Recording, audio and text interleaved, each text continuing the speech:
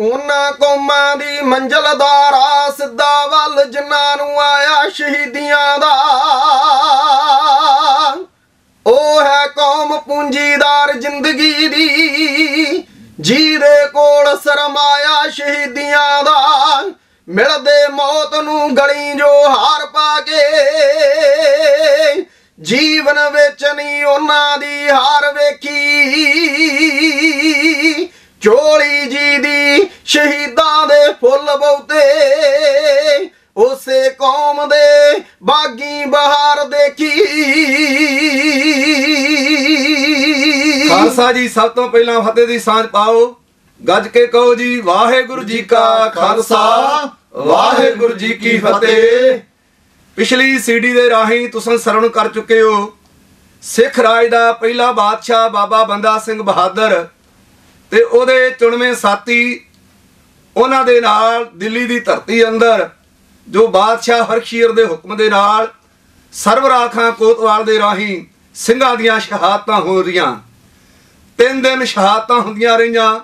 5 March ਤੋਂ ਲੈ ਕੇ ਰੋਜ਼ ਦਾ 100 100 ਸਿੰਘ ਸ਼ਹੀਦ ਕੀਤਾ ਜਾਂਦਾ ਰਿਹਾ।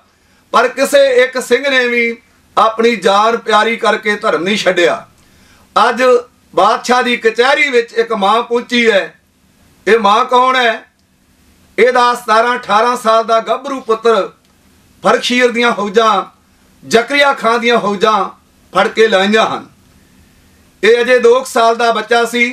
ਜਦੋਂ ਇਹਦਾ ਬਾਪੂ ਅਕਾਲ ਚਲਾਣਾ ਕਰ ਗਿਆ, ਇਹਦੀ ਮਾਂ ਵਿਧਵਾ ਹੋ ਗਈ। ਲੋਕਾਂ ਦਾ ਪੀਣਾ ਕਤਣਾ ਕਰਕੇ, ਮਿਹਨਤਾਂ, ਮਸ਼ਕਤਾਂ ਕਰਕੇ ਮਾਂ ਨੇ ਆਪਣੇ ਪੁੱਤਰ ਨੂੰ ਪਾਲਿਆ।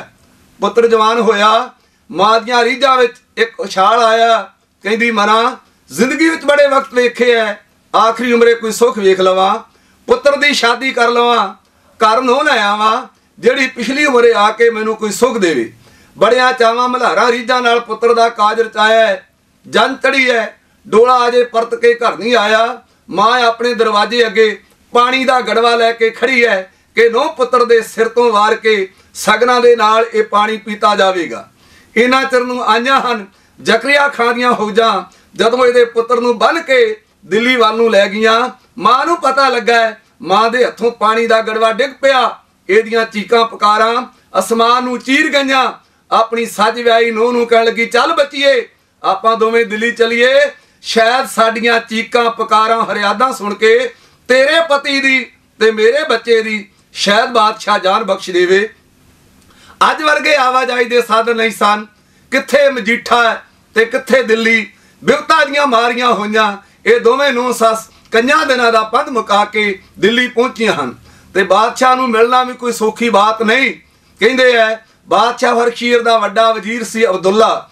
ਉਹਦਾ ਅੱਗੇ ਇੱਕ ਦੀਵਾਨ ਸੀ ਰਤਨਚੰਦ ਨਾਮ ਦਾ ਹਿੰਦੂ। ਕੁਝ ਇਤਿਹਾਸਕ ਕਹਿੰਦੇ ਐ, ਉਹ ਇਸ ਮਾਂ ਦੇ ਆਪਣੇ ਪਿੰਡ ਦਾ ਸੀ। ਉਹਦੀ ਸਿਫਾਰਿਸ਼ ਕਰਕੇ ਜਦੋਂ ਇਸ ਮਾਂ ਨੂੰ ਬਾਦਸ਼ਾਹ ਹਰਕਸ਼ੀਰ ਦੀ ਕਚਹਿਰੀ ਵਿੱਚ ਪੇਸ਼ ਕੀਤਾ ਗਿਆ, ਮਾਂ ਨੇ ਹਾਲ ਦੁਹਾਈ ਮਚਾਈ ਹੈ ਆਖਾ ਹਾਕਮਾ ਮੇਰੀ ਜ਼ਿੰਦਗੀ ਦੀ ਸਭ ਤੋਂ ਕੀਮਤੀ ਪੂੰਜੀ, ਆ ਮੇਰੇ ਬੁੱਢਿਆਂ ਨੈਣਾ ਦੀ ਜੋਤੀ, ਮੇਰੇ ਬੁਢਾਪੇ ਦੀ ਡੰਗੋਰੀ। ਕੇਵਲ ਇਹੋ ਇੱਕ ਬੱਚਾ ਹੀ ਮੇਰੇ ਕੋਲ ਹੈ। ਮੈਂ ਅੱਗੇ ਬੜੇ ਵਕਤ ਵੇਖੇ ਹਨ। ਇਹਦੇ ਛੋਟੇ ਹੁੰਦੇ ਦਾ ਬਾਪੂ ਚੱਲ ਵਸਿਆ ਸੀ। ਮੇਰੀ ਦੁਨੀਆ ਵਸਦੀ ਰਹਿਣ ਦੇ। ਮੇਰੇ ਇਸ ਬੱਚੇ ਦੀ ਜਾਨ ਬਖਸ਼ ਦੇ। ਜੇ ਮੇਰੇ ਤੇ ਤਰਸ ਨਹੀਂ ਕਰਦਾ, ਇਹਦੇ ਆ ਲੜ ਲੱਗਣ ਵਾਲੀ ਮਟਿਆਰ ਵੱਲ ਵੇਖ। ਇਹਨੇ ਇਹਦੇ ਜ਼ਿੰਦਗੀ ਦਾ ਕੁਝ ਨਹੀਂ ਵੇਖਿਆ। ਇਹਦੀ ਦੁਨੀਆ ਕਿਤੇ ਵਸਣ ਤੋਂ ਪਹਿਲਾਂ ਨਾ ਉਜੜ ਜਾਵੇ। ਮਾਂ ਵਾਸਤੇ ਪੁੱਤਰ ਇੰਨੀ ਪਿਆਰੀ ਚੀਜ਼ ਹੈ, ਇੱਕ ਝੂਠ ਹੀ ਬੋਲ ਦਿੱਤਾ। ਆਖਾ, ਬਾਦਸ਼ਾਹ, ਮੇਰਾ ਬੱਚਾ ਸਿੱਖ ਨਹੀਂ। ਅਸੀਂ ਹਿੰਦੂ ਹਾਂ, ਐਵੇਂ ਗਲਤੀ ਨਾਲ, ਭੁਲੇਖੇ ਨਾਲ, ਤੇਰੇ ਕਰਮਚਾਰੀ ਮੇਰੇ ਪੁੱਤਰ ਨੂੰ ਬੰਨ ਲਿਆਏ ਹਨ। ਕਿਰਪਾ ਕਰ ਮੇਰੇ ਪੁੱਤਰ ਦੀ ਜਾਨ ਬਖਸ਼ ਦੇ। ਮਮਤਾ ਦੀ ਮਾਰੀ ਹੋਈ ਇੱਕ ਮਾਂ ਬਾਦਸ਼ਾਹ ਹਰਖੀਰ ਦੀ ਕਚਹਿਰੀ ਵਿੱਚ ਰੋ ਕੇ, ਤਰਲੇ ਲੈ ਕੇ, ਲਿਲਕੀਆਂ ਲੈ ਕੇ ਜੋ ਕੁਝ ਕਹਿ ਰਹੀ ਹੈ, ਸ਼ਾਨਦਾਰ ਸਿਰਲੇਖ ਹੈ। ਬੇਦਰਦੋ ਰਹਿਮ ਕਰੋ। ਇੱਕੋ ਪੁੱਤ ਲਾਡਲਾ ਮੇਰਾ। ਮਤਾ ਦੀ ਮਾਰੀ ਮਾਂ ਉੱਚੀ ਰੋ ਰੋ ਦਵੇ ਦੁਹਾਈਆਂ। ਅਜੇ ਹੀਰੇ ਪੁੱਤ ਦੀਆਂ ਨਾ ਮੈਂ ਰੱਜ ਕੇ ਰੀਜਾਂ ਲਾਈਆਂ। ਉਹ ਚਾਨਣ ਅੱਖੀਆਂ ਦਾ ਕਰਨਾ ਦੇਣਾ ਕੋਪ ਹਨੇਰਾ। ਬੇਦਰਦੋ ਰਹਿਮ ਕਰੋ ਇੱਕੋ ਪੁੱਤ ਲਾਡਲਾ ਮਤਾ ਮਾਰੀ ਮਾਂ, ਉੱਚੀ ਰੋ ਰੋ ਦਵੇ ਦੁਹਾਈਆਂ, ਅਜੇ ਹੀਰੇ ਪੁੱਤ ਦੀਆਂ, ਨਾ ਮੈਂ ਰੱਜ ਕੇ ਰੀਜਾਂ ਲਾਈਆਂ। ਚਾਨਣ ਅੱਖੀਆਂ ਦਾ ਕਰਨਾ ਦੇਣਾ ਕੁੱਪ ਹਨੇਰਾ, ਬੇਦਰਦੋ ਰਹਿਮ ਕਰੋ, ਇੱਕੋ ਪੁੱਤ ਲਾਡਲਾ ਮੇਰਾ।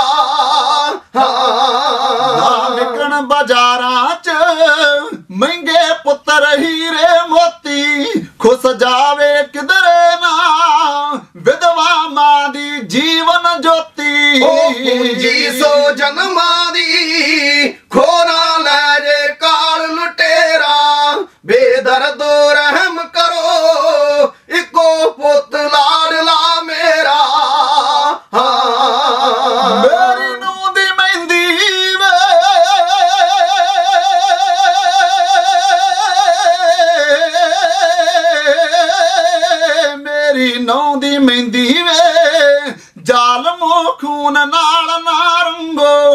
ਰੰਗੋ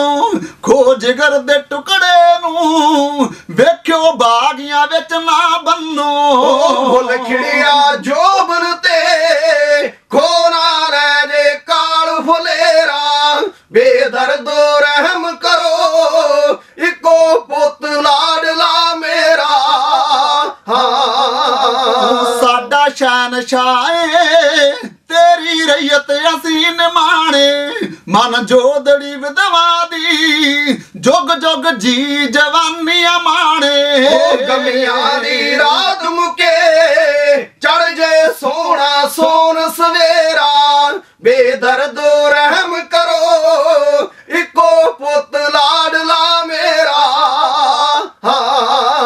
ਪੁੱਤ ਤੁਰ ਜਣ ਜਿਨ੍ਹਾਂ ਦੇ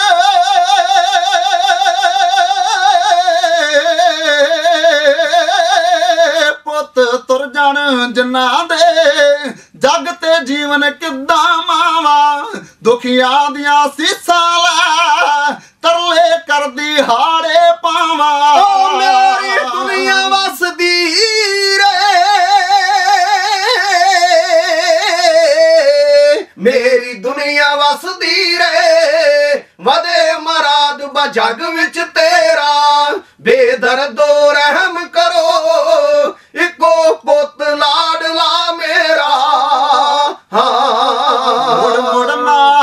ਦੇਵੇ, ਮਾਂ ਨੂੰ ਸ਼ੌਂਕੀ ਪੁੱਤਰ ਹੀਰੇ ਵੇ, ਮਾਂ ਨੂੰ ਸ਼ੌਂਕੀ ਪੁੱਤਰ ਹੀਰੇ। ਮਨ ਵਾਸਤਾ ਕਹਿੰਦੇ ਪਏ, ਵੇਖ ਲੈ ਜੋਗੀ ਤੇ ਦਲਬੀਰੇ। ਗੁਰਮੁਖ ਸਿਆ ਪੁੱਤਰਾ ਬਿਨ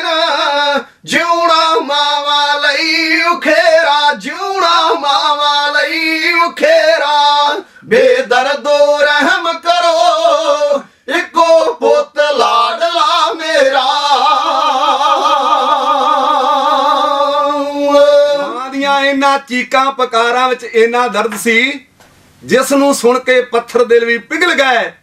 ਬਾਦਸ਼ਾਹ ਦਾ ਦਿਲ ਵੀ ਇਕਰਾ ਪਸੀਜ ਗਿਆ। ਕਹਿਣ ਲੱਗਾ, ਬੀਬੀ, ਜੇ ਤੇਰਾ ਬੱਚਾ ਇੱਕ ਵਾਰ ਆਪਣੀ ਜ਼ਬਾਨੋਂ ਕਹਿ ਦਵੇ, ਆ ਮੈਂ ਲਿਖ ਦਿੱਤਾ ਹੈ, ਤੇਰੇ ਪੁੱਤਰ ਦੀ ਜਾਨ ਬਖਸ਼ੀ ਗਈ। ਗੱਲ ਯਾਦ ਰੱਖਣੀ, ਦੁਨੀਆ ਦੀ ਕਿਸੇ ਕੋਰਟ ਕਚਹਿਰੀ ਅਦਾਲਤ ਵਿੱਚ ਜਾਓ, ਜੱਜ ਇਹ ਗੱਲ ਨਹੀਂ ਕਹਿੰਦਾ ਕਿ ਮੈਂ ਮੁਜਰਮ ਦੀ ਗਵਾਹੀ ਮੰਨਾਂਗਾ। ਜੱਜ ਕਹਿੰਦਾ ਗਵਾਹ ਜੋ ਗਵਾਹੀਆਂ ਦੇਣਗੇ, ਉਹਦੇ ਤੋਂ ਲੱਭੂਗਾ ਸੱਚ, ਫਿਰ ਮੈਂ ਆਪਣਾ ਫੈਸਲਾ ਦਿਆਂਗਾ। ਇੱਥੇ ਵੱਖਰੀ ਗੱਲ, ਜੱਜ ਬਾਦਸ਼ਾਹ ਕਰ ਰਿਹਾ ਹੈ। ਉਹ ਕਹਿੰਦਾ, ਮੈਨੂੰ ਗਵਾਹੀ ਚਾਹੀਦੀ ਹੈ ਤੇਰੇ ਮੁਜਰਮ ਪੁੱਤਰ ਦੀ। ਭਲਾ ਉਸਨੇ ਕਿਉਂ ਕਿਹਾ? ਇੱਕ ਵਿਚਾਰਨ ਵਾਲੀ ਗੱਲ ਹੈ। ਕਿਉਂਕਿ ਬਾਦਸ਼ਾਹ ਨੂੰ ਪਤਾ ਹੈ, ਜੇ ਇਹਦਾ ਪੁੱਤਰ ਵਾਕਿਆ ਹੀ ਗੁਰੂ ਗੋਬਿੰਦ ਸਿੰਘ ਦਾ ਸਿੰਘ ਹੋਇਆ, ਉਹਨੇ ਜਾਨ ਬਚਾਉਣ ਦੀ ਖਾਤਰ ਇਹ ਨਹੀਂ ਕਹਿਣਾ ਕਿ ਮੈਂ ਗੁਰੂ ਗੋਬਿੰਦ ਸਿੰਘ ਦਾ ਸਿੰਘ ਨਹੀਂ ਹਾਂ। ਉਹ ਸਿੰਘਾ, ਕਿਹੋ ਜਿਹਾ ਤੇਰਾ ਇਤਿਹਾਸ ਹੈ? ਕਦੇ ਵਿਰੋਧੀ ਵੀ ਆਮ ਸਧਾਰਨ ਸਿੱਖ ਤੇ ਸਾਡੇ ਤੇ ਯਕੀਨ ਕਰਦੇ ਸਨ? ਅੱਜ ਆਪਾਂ ਕਿੱਥੇ ਆ ਗਏ? ਸਾਡੇ ਵੱਡੇ, ਸਾਡੇ ਵਰਗੇ ਪ੍ਰਚਾਰਕ ਵੱਡੇ ਵੱਡੇ ਲੀਡਰ, ਜਥੇਦਾਰ, ਉਹਨਾਂ ਦਾ ਹੀ ਕੌਮ ਤੋਂ ਵਿਸ਼ਵਾਸ ਉੱਠ ਗਿਆ ਹੈ। ਅਸੀਂ ਯਕੀਨ ਕਰਨ ਵਾਸਤੇ ਤਿਆਰ ਨਹੀਂ ਹਾਂ। ਕੁਝ ਐਸੀਆਂ ਕਮਜ਼ੋਰੀਆਂ ਆਈਆਂ, ਐਸਾ ਨਿਗਾਰ ਆਇਆ ਤਾਂ ਸਾਡੇ ਐਸੇ ਹਾਲਾਤ ਬਣੇ। ਉਦੋਂ ਇੱਕ ਆਮ ਸਧਾਰਨ ਬਾਰੇ ਵੀ ਵਿਰੋਧੀ ਵੀ ਯਕੀਨ ਕਰਿਆ ਕਰਦੇ ਸਨ। ਬਾਦਸ਼ਾਹ ਨੇ ਲਿਖ ਕੇ ਦਿੱਤਾ, ਆਖਾ, ਬੀਬੀ, ਭੱਜ ਕੇ ਜਾ।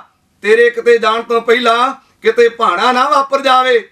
ਮਾਂ ਬੜੀ ਖੁਸ਼ੀ-ਖੁਸ਼ੀ ਕਿ ਮੇਰੇ ਪੁੱਤਰ ਦੀ ਜਾਨ ਬਖਸ਼ੀ ਗਈ ਹੈ। ਭੱਜੀ ਭੱਜੀ ਕਤਲਗਾਹ ਵਿੱਚ ਪਹੁੰਚੀ ਹੈ। ਜਾਂਦਿਆਂ ਕੀ ਵੇਖਿਆ? ਇਹਦੇ ਪੁੱਤਰ ਦੀ ਵਾਰੀ ਹੈ। ਪਰ ਜਵਾਨੀ, ਨੈਣਾ ਵਿੱਚ ਕੋਈ ਇਲਾਹੀ ਮਸਤੀ। ਤਲਵਾਰ ਦੇ ਅੱਗੇ ਸਿਰ ਦੇਣ ਲੱਗਾ ਮਾਂ ਨੇ ਤੱਕਿਆ। ਮਾਂ ਦੇ ਕਾਲਜੇ ਰੁੱਗ ਭਰਿਆ ਗਿਆ। ਦੁਹਾਈ ਮਚਾਈ। ਆਖਾਂ ਵੇ ਜਲਾਦਾ ਇੱਕ ਮਿੰਟ ਰੁਕ ਜਾ।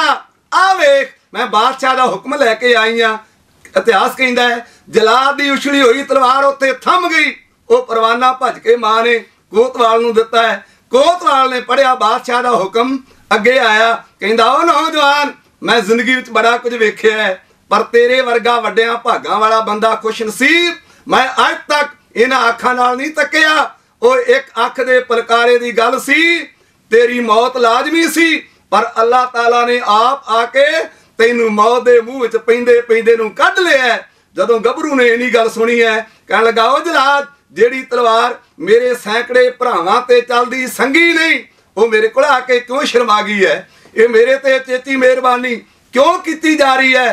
ਕੋਤਵਾਲ ਨੇ ਆਖਿਆ, ਕਾਕਾ, ਇਹ ਹੁਕਮ ਕੇਵਲ ਸਿੱਖਾਂ ਵਾਸਤੇ ਹੈ, ਪਰ ਕਿਉਂਕਿ ਤੇਰੀ ਮਾਂ ਕਹਿੰਦੀ ਹੈ, ਤੂੰ ਸਿੱਖ ਨਹੀਂ ਇਸ ਕਰਕੇ ਤੇਰੀ ਜਾਨ ਬਖਸ਼ੀ ਜਾਂਦੀ ਹੈ। ਇਹ ਸੁਣ ਕੇ ਗੱਭਰੂ ਦੇ ਮੱਥੇ ਤੇ ਵੱਟ ਪੈ ਗਏ। ਕਹਿਣ ਲੱਗਾ, ਨਹੀਂ ਜਲਾਦ ਮੇਰੀ ਮਾਂ ਝੂਠ ਬੋਲਦੀ ਹੈ। ਮੈਂ ਤਨੋ ਮਨੋ ਗੁਰੂ ਗੋਬਿੰਦ ਸਿੰਘ ਦਾ ਸਿੰਘ ਹਾਂ। ਮੈਨੂੰ ਮੇਰੇ ਵੀਰਾਂ ਦੇ ਨਾਲ ਜਲਦੀ ਸ਼ਹੀਦ ਕੀਤਾ ਜਾਵੇ। ਮਾਂ ਨੇ ਜਦੋਂ ਸੁਣਿਆ, ਉਹਦੇ ਪੈਰਾਂ ਦੇ ਥੱਲਿਓਂ ਜ਼ਮੀਰ ਖਿਸਕਦੀ ਨਜ਼ਰੇ ਆਈ, ਕੋਲ ਆਈ, ਸਹਿਜੇ ਨਾਲ ਕੰਨ ਵਿੱਚ ਆ ਕੇ ਆਖਿਆ, ਮੇਰੇ ਲਾਲ, ਹੈਗਾ ਤੂੰ ਸਿੱਖੀ ਐ ਕੀ ਫ਼ਰਕ ਪੈਂਦਾ ਹੈ? ਇੱਕ ਵਾਰ ਕਹਿ ਦੇ, ਮੈਂ ਗੁਰੂ ਗੋਬਿੰਦ ਸਿੰਘ ਦਾ ਸਿੰਘ ਨਹੀਂ, ਮੇਰੀ ਦੁਨੀਆ ਵਸਦੀ ਰਹਿਣ ਦੇ। ਗੱਭਰੂ ਨੇ ਆਖਿਆ, ਨਹੀਂ ਮਾਂ, ਮੈਂ ਝੂਠ ਬੋਲ ਕੇ ਕਲਗੀਧਰ ਸ੍ਰੀ ਗੁਰੂ ਗੋਬਿੰਦ ਸਿੰਘ ਤੇ ਉਹਦੀ ਸਿੱਖੀ ਨੂੰ ਕਲੰਕਿਤ ਨਹੀਂ ਕਰ ਸਕਦਾ। ਕਿਹੋ ਜਿਹਾ ਕਰਦਾਰ ਸੀ ਉਹਨਾਂ ਗੁਰੂ ਕੇ ਲਾਲਾਂ ਦਾ। ਮਾਂ ਨੇ ਜਦੋਂ ਸੁਣਿਆ, ਇੱਕ ਬੋਲੀ ਮਾਰੀ ਆਖਾ ਤੈਨੂੰ ਨਹੀਂ ਪਤਾ, ਤੈਨੂੰ ਮੇਰੀ ਮਮਤਾ ਪਿਆਰੀ ਨਹੀਂ, ਤੇਰੇ ਵਾਸਤੇ ਮੈਂ ਕੀ ਨਹੀਂ ਕੀਤਾ, ਕਿੰਨੇ ਵੱਡੇ ਜੋਹਰ ਜਾਲੇ ਹਨ ਜਦੋਂ ਇਨੀ ਗੱਲ ਸੁਣੀ ਹੈ ਗੱਭਰੂ ਨੇ ਆਖਾ ਮਾਂ, ਮਮਤਾ ਬੜੀ ਪਿਆਰੀ ਹੈ ਜੋ ਕੁਝ ਤੂੰ ਮੇਰੇ ਵਾਸਤੇ ਕੀਤਾ ਹੈ ਇਹਦੀ ਦੇਣ ਮੈਂ ਕੰਨਾਂ ਜਨਮਾਂ ਵਿੱਚ ਨਹੀਂ ਦੇ ਸਕਦਾ। ਵੈਸੇ ਤਾਂ ਕੋਈ ਬੱਚਾ ਵੀ ਆਪਣੀ ਮਾਂ ਦੀ ਦੇਣ ਨਹੀਂ ਦੇ ਸਕਦਾ, ਪਰ ਤੂੰ ਤਾਂ ਮਾਂ, ਮੇਰੇ ਵਾਸਤੇ ਬੜੇ ਦੁੱਖ ਚੱਲੇ ਹਨ। ਮੇਰੇ ਛੋਟੇ ਹੁੰਦੇ ਦਾ ਬਾਪੂ ਚੱਲ ਵਸਿਆ ਸੀ, ਮੇਰੀ ਖਾਤਰ ਤੂੰ ਬਹੁਤ ਮੁਸੀਬਤਾਂ ਝੱਲੀਆਂ ਹਨ। ਪਰ ਮਾਂ, ਤੂੰ ਮੈਨੂੰ ਮਮਤਾ ਦਾ ਵਾਸਤਾ ਪਾਇਆ ਪਰ ਕਦੇ ਉਸ ਮਾਂ ਦੀ ਮਮਤਾ ਵੱਲੇ ਵੇਖਿਆ, ਮਾਂ ਸੁਣ ਕੇ ਚੱਕਰਾਂ ਵਿੱਚ ਪੈ ਗਈ। ਕਹਿਣ ਲੱਗੀ, ਮੇਰੇ ਲਾਲ, ਕਿਹੜੀ ਮਾਂ ਦੀ ਗੱਲ ਕਰਦਾ ਹੈ? ਗੱਭਰੂ ਨੇ ਆਖਿਆ, ਜਗਤ ਮਾਤਾ ਗੁਜਰੀ, ਜਿਹਦਾ ਸਰਸਾ ਦੇ ਕੰਢੇ ਤੇ ਹੀਰਿਆਂ ਦਾ ਹਾਰ ਬਿਖਰ ਗਿਆ। ਇੱਕ ਪਾਸੇ ਉਹਦੀਆਂ ਨੋਹਾਂ ਦਿੱਲੀ ਵੱਲ ਨੂੰ ਚਲੇ ਗਈਆਂ, ਇੱਕ ਪਾਸੇ ਕਲੌਤਾ ਪੁੱਤਰ ਪੋਤਰੇ ਚਮਕੌਰ ਦੇ ਮੈਦਾਨ ਵੱਲ ਚਲੇ ਗਏ। ਦੂਸਰੇ ਪਾਸੇ ਉਹਦੀ ਗੋਦੀ ਵਿੱਚ ਦੋ ਮਾਸੂਮ ਜਿੰਦਾ ਛੋਟੇ ਪੋਤਰੇ ਬਾਬਾ ਜ਼ੋਰਾ ਜੋਰਾਵਰ ਸਿੰਘ ਤੇ ਬਾਬਾ ਫਤਿਹ ਸਿੰਘ ਰਹਿ ਗਏ। ਗੰਗੂ ਨੇ ਗਦਾਰੀ ਕਰਕੇ ਗ੍ਰਿਫਤਾਰ ਕਰਵਾਏ, ਸਰਹੰਦ ਪਹੁੰਚਾਏ ਗਏ, ਸੂਬੇ ਦੀ ਕਚਹਿਰੀ ਲੱਗਦੀ ਰਹੀ। ਮਾਂ ਤੂੰ ਮੈਨੂੰ ਆਪ ਸਾਖੀਆਂ ਸੁਣਾਉਂਦੀ ਰਹੀ ਹੈ ਠੰਡਾ ਬੁਰਜ ਉਹਦੀਆਂ ਕਕਰੀਲੀਆਂ ਰਾਤਾਂ, ਕੋਈ ਰਜਾਈ ਤਲਾਈ ਨਹੀਂ, ਕੋਈ ਬਿਸਤਰਾ ਨਹੀਂ, ਖਾਣ ਵਾਸਤੇ ਕੋਈ ਚੀਜ਼ ਨਹੀਂ, ਸੂਬੇ ਦੀ ਕਚਹਿਰੀ ਵੱਲ ਤੋਰਦਿਆਂ ਮਾਂ, ਉਹ ਮਹਾਨ ਮਾਂ ਆਪਣੇ ਬੱਚਿਆਂ ਨੂੰ ਸਿੱਖਿਆ ਦੇ ਕੇ ਤੋਰਦੀ ਰਹੀ। ਇਹ ਕਹਿੰਦੀ ਰਹੀ, ਮੇਰੇ ਚੱਲਿਓ, ਮੇਰੇ ਨਾਂ ਨਹਾਲੋ ਪੁਰਜਾ ਪੁਰਜਾ ਕੱਟ ਮਰਨਾ ਪਰ ਜਿਉਂਦੇ ਜੀ, ਕਦੇ ਆਪਣਾ ਧਰਮ ਨਹੀਂ ਤਿਆਗਣਾ, ਪਰ ਮਾਂ, ਤੂੰ ਕਿਹੋ ਜੀ ਮਾਂ ਏ? ਕੀ ਉਸ ਮਾਂ ਦੇ ਮਨ ਵਿੱਚ ਮਮਤਾ ਨਹੀਂ ਸੀ? ਉਹਨੂੰ ਆਪਣੇ ਪੋਤਰੇ ਚੰਗੇ ਨਹੀਂ ਸਨ ਲੱਗਦੇ, ਪਰ ਤੂੰ ਮਾਂ, ਮੈਨੂੰ ਆਪਣੇ ਗੁਰਸਿੱਖੀ ਤੋਂ ਬੇਮੁਖ ਹੋ ਕੇ ਜੂਣ ਲਈ ਮਜਬੂਰ ਕਰ ਰਹੀ ਹੈ ਨਹੀਂ ਮਾਂ, ਮੈਨੂੰ ਤੇਰੀ ਸ਼ਰਤ ਪ੍ਰਵਾਨ ਨਹੀਂ। ਮਾਂ ਨੇ ਵੇਖਿਆ, ਮੇਰੇ ਸਾਰੇ ਵਾਰ ਖਾਲੀ ਚਲੇ ਗਏ, ਪਰ ਉਹਦੇ ਪੱਥੇ ਵਿੱਚ ਅਜੇ ਵੀ ਇੱਕ ਤੀਰ ਬਾਕੀ ਸੀ। ਕਿਤੇ ਡੂੰਘੇ ਪਾਣੀ 'ਚ ਰੁੜਦਾ ਜਾਂਦਾ ਹੋਵੇ, ਉਹ ਕੱਖਾਂ ਨੂੰ, ਤੀਲਿਆਂ ਨੂੰ ਵੀ ਹੱਥ ਪਾਉਂਦਾ ਹੈ ਸ਼ਾਇਦ ਮੈਂ ਵੱਧ ਜਾਵਾਂ। ਉਹ ਆਖਰੀ ਹਥਿਆਰ ਕਿਹੜਾ ਹੈ? ਆਪਣੀ ਨੌਜਵਾਨ ਸੱਜ ਵਿਆਹੀ ਨੌ ਨੂੰ ਇਸ ਬੱਚੇ ਦੇ ਅੱਗੇ ਕਰਦਿਆਂ ਕਮਰ ਲਾਲ, ਜੇ ਮੇਰੀ ਖਾਤਰ ਨਹੀਂ, ਤਾਂ ਘੱਟੋ ਘੱਟ ਐਸ ਆਪਣੀ ਲੜ ਲੱਗਣ ਵਾਲੀ ਵੱਲ ਵੇਖ। ਮਾਂ ਹਰ ਹੀਲੇ ਤੇ ਆਪਣੇ ਪੁੱਤਰ ਨੂੰ ਬਚਾਉਣ ਦਾ ਯਤਨ ਕਰਦੀ ਹੈ। ਮੈਨੂੰ ਸੱਬੇ ਪੀੜਾਂ ਨੇ ਮੰਦੀਆਂ ਇੱਕ ਬੁਰੀ ਪਾਈਆਂ ਦੀ ਪੀ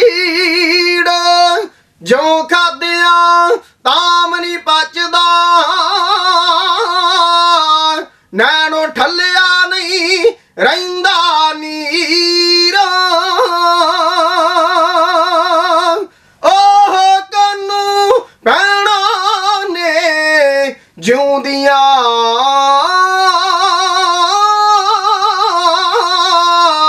ਵਿਛੜ ਜਾਣਾ ਜਿਨ੍ਹਾਂ ਦੇ ਪੁੱਤ ਮਰੇ ਨਹੀਂ ਭੁੱਲਦੇ ਆਲਮਾ।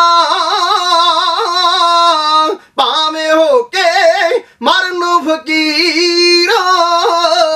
ਭਾਵੇਂ ਹੋ ਕੇ ਮਰਨ ਫਕੀਰ। ਇਤਿਹਾਸ ਕਹਿੰਦਾ ਜਦੋਂ ਮਾਂ ਨੇ ਆਪਣੀ ਸੱਜ ਵਿਆਹੀ ਨੂੰਹ ਨੂੰ ਅੱਗੇ ਕੀਤਾ ਹੈ, ਉਹ ਸਵਾਣੀ ਨੇ ਆਪਣੇ ਮਹਿੰਦੀ ਰੰਗੇ ਹੱਥ ਅੱਗੇ ਕੀਤੇ ਐ ਅੱਖਾਂ ਵਿੱਚ ਹੰਝੂ ਹਨ, ਮੂੰਹੋਂ ਕੁਝ ਬੋਲੀ ਨਹੀਂ। ਮਨ ਉਹਦੇ ਮਹਿੰਦੀ ਰੰਗੇ ਹੱਥਾਂ ਵਿੱਚੋਂ ਇੱਕ ਪੁਕਾਰ ਉੱਠ ਰਹੀ ਸੀ। ਮੇਰੀ ਸਗਨਾ ਦੀ ਮਹਿੰਦੀ, ਨਾ ਖੂਨ ਬਣਾਵੀਂ, ਆ ਮੇਰੀ ਭਰ ਜਵਾਨੀ ਨਾ ਖਾਕ ਰਣਾਵੀਂ ਮੇਰੇ ਕੋਮਲ ਦਿਲ ਵਿੱਚ ਹਾਏ ਤੀਰ ਨਾ ਮਾਰੀ, ਸੌ ਜੁੜੀ ਚ ਲੱਗੀਆਂ, ਕਿਤੇ ਤੋੜ ਨਾ ਜਾਵੀ। ਆ ਮੰਦੇ ਵਾਸਤੇ ਤਾਂ ਬੜਾ ਮਾਰੂ ਤਿਉਹਾਰ ਸੀ, ਪਰ ਜਿਹੜੇ ਗੁਰੂ ਪ੍ਰੇਮ ਚ ਰੰਗੇ ਹੋਏ ਹੋਣ, ਉਹਨਾਂ ਦੀ ਅਵਸਥਾ ਬਹੁਤ ਉੱਚੀ ਬਣ ਜਾਇਆ ਕਰਦੀ ਹੈ। ਜਿਨ੍ਹਾਂ ਦੀ ਬਾਤ ਮੇਰੇ ਪੰਚਮ ਪਾਤਸ਼ਾਹ ਨੇ ਆਪਣੀ ਬਾਣੀ ਵਿੱਚ ਕਿਹਾ ਹੈ, ਜਾ ਕੋ ਹਰ ਰੰਗ ਲਾਗੋ ਇਸ ਜੁਗ ਮੈਂ ਸੋ ਕਹੀਤ ਹੈ ਸੂਰਾ ਆਤਮ ਜਿਣੈ ਸਗਲ ਵਸਤਾ ਕੈ ਜਾ ਕਾ ਸਤਿਗੁਰ ਪੂਰਾ। ਗੱਭਰੂ ਨੇ ਨਿਗਾਹ ਭਰ ਕੇ ਤੱਕਿਆ ਅੱਗੋਂ ਇੱਕ ਜਵਾਬ ਦਿੱਤਾ ਹੈ ਆਖਾਂ ਮੇਰੇ ਲੜ ਲੱਗਣ ਵਾਲੀ ਸਜਣੀਏ ਤੇਰੇ ਨਾਲ ਮੇਰਾ ਹੁਣੇ ਰਿਸ਼ਤਾ ਜੁੜਿਆ ਤੇ ਤੈਨੂੰ ਇਹ ਨਾਤਾ ਤੋੜਨਾ ਚੰਗਾ ਨਹੀਂ ਨਾ ਲੱਗਦਾ। ਪਰ ਸ਼ਾਇਦ ਤੈਨੂੰ ਨਹੀਂ ਪਤਾ ਮੇਰਾ ਵੀ ਇੱਕ ਰਿਸ਼ਤਾ ਆਪਣੇ ਗੁਰੂ ਦੇ ਨਾਲ ਜੁੜਿਆ ਹੋਇਆ ਹੈ ਜੋ ਅੱਜ ਤੋਂ ਲੈ ਕੇ ਨਹੀਂ ਵੱਡ ਵਡੇਰਿਆਂ ਤੋਂ ਲੈ ਕੇ, ਪੀੜ੍ਹੀਆਂ ਤੋਂ ਲੈ ਕੇ ਗੁਰੂ ਦੇ ਨਾਲ ਜੁੜਿਆ ਆ ਰਿਹਾ ਹੈ। ਕਾਸ਼ ਕਿਤੇ ਅੱਜ ਦਾ ਨੌਜਵਾਨ ਜੋ ਸਿੱਖੀ ਨੂੰ ਤਲਾਂਜਲੀ ਦੇ ਰਿਹਾ ਹੈ, ਉਹ ਇਸ ਗੱਲ ਦਾ ਅਹਿਸਾਸ ਕਰੇ, ਉਹਨਾਂ ਬਜ਼ੁਰਗਾਂ ਦੇ, ਉਹਨਾਂ ਵੀਰਾਂ ਦੇ, ਉਹਨਾਂ ਸਿੰਘਾਂ ਦੇ ਮਨ ਵਿੱਚ ਇਹ ਸਿੱਖੀ ਪ੍ਰਤੀ ਕਿੰਨਾ ਦਰਦ ਸੀ। ਗੱਭਰੂ ਨੇ ਆਖਿਆ, ਜੇ ਤੂੰ ਆਪਣਾ ਰਿਸ਼ਤਾ ਤੋੜਨਾ ਪ੍ਰਵਾਨ ਨਹੀਂ ਕਰਦੀ, ਉਹ ਮੈਂ ਰਿਸ਼ਤਾ ਕਿਵੇਂ ਤੋੜ ਦਿਆਂ? ਜੋ ਪੁਰਖਿਆਂ ਤੋਂ ਲੈ ਕੇ ਗੁਰੂ ਦੇ ਨਾਲ ਜੁੜਿਆ ਹੋਇਆ ਹੈ, ਸਿੰਘ ਨੇ ਜਵਾਬ ਦਿੱਤਾ ਪੀਆ ਤੇਰਾ ਸਜਣੀ, ਜਿਵੇਂ ਤੈਨੂੰ ਪਿਆਰਾ, ਤਿਵੇਂ ਮੈਨੂੰ ਮੇਰਾ ਪ੍ਰਾਣ ਆਧਾਰਾ ਕੱਚ ਬਦਲੇ ਹੀਰਾ। ਤਜ ਦਾ ਕੋਈ ਤੱਕਿਆ ਇਹ ਹਾਨੀ ਰਿਸ਼ਤਾ, ਉਹ ਨਿਤ ਦਾ ਸਹਾਰਾ, ਉਹ ਦੁਨੀਆ ਦੀ ਚਿੱਟੀ ਚਮੜੀ ਵਾਸਤੇ ਗੁਰੂ ਨਾਲੋਂ ਤੋੜ ਦਵਾਂ। ਕਦਾ ਚਿੱਤ ਨਹੀਂ? ਜਲਾਦ ਨੇ ਆਖਿਆ, ਮਾਂ, ਮੈਂ ਬੇਬਸ ਹਾਂ, ਤੇਰਾ ਪੁੱਤਰ ਭੱਜ ਕੇ ਆਪ ਮੌਤ ਨੂੰ ਗਲਵਕੜੀ ਪਾਉਣ ਜਾ ਰਿਹਾ ਹੈ। ਆਖਿਰਕਾਰ ਜਲਾਦ ਦੀ ਤਲਵਾਰ ਚੱਲੀ ਹੈ, ਗੱਭਰੂ ਦਾ ਧੜ ਧਰਤੀ ਤੇ ਡਿੱਗਾ ਹੈ। ਸੀ ਧਰਤੀ ਤੇ ਡਿੱਗਾ ਹੈ ਵਿੱਚੋਂ ਖੂਨ ਦੇ ਫੁਹਾਰੇ ਨਿਕਲੇ ਹਨ ਇੱਕ ਆਵਾਜ਼ ਆ ਰਹੀ ਸੀ ਜਿਨ ਕੋ ਸ਼ੌਕ ਹੈ ਸ਼ਹਾਦਤ का वो जीना छोड़ देते हैं खलौना समझकर जिस्म को खुशी से फोड़ देते हैं ना तक तो ताज की ना हुरों की हसरत है बालम अगर खुदा भी दे खुदाई तो वापस मोड़ देते हैं ਅਸੀਂ ਪੁੱਤਰ ਹਾਂ ਗੁਰੂ ਗੋਬਿੰਦ ਸਿੰਘ ਦੇ ਸਦਾ ਸੱਚ ਦੇ ਪੱਖ ਤੇ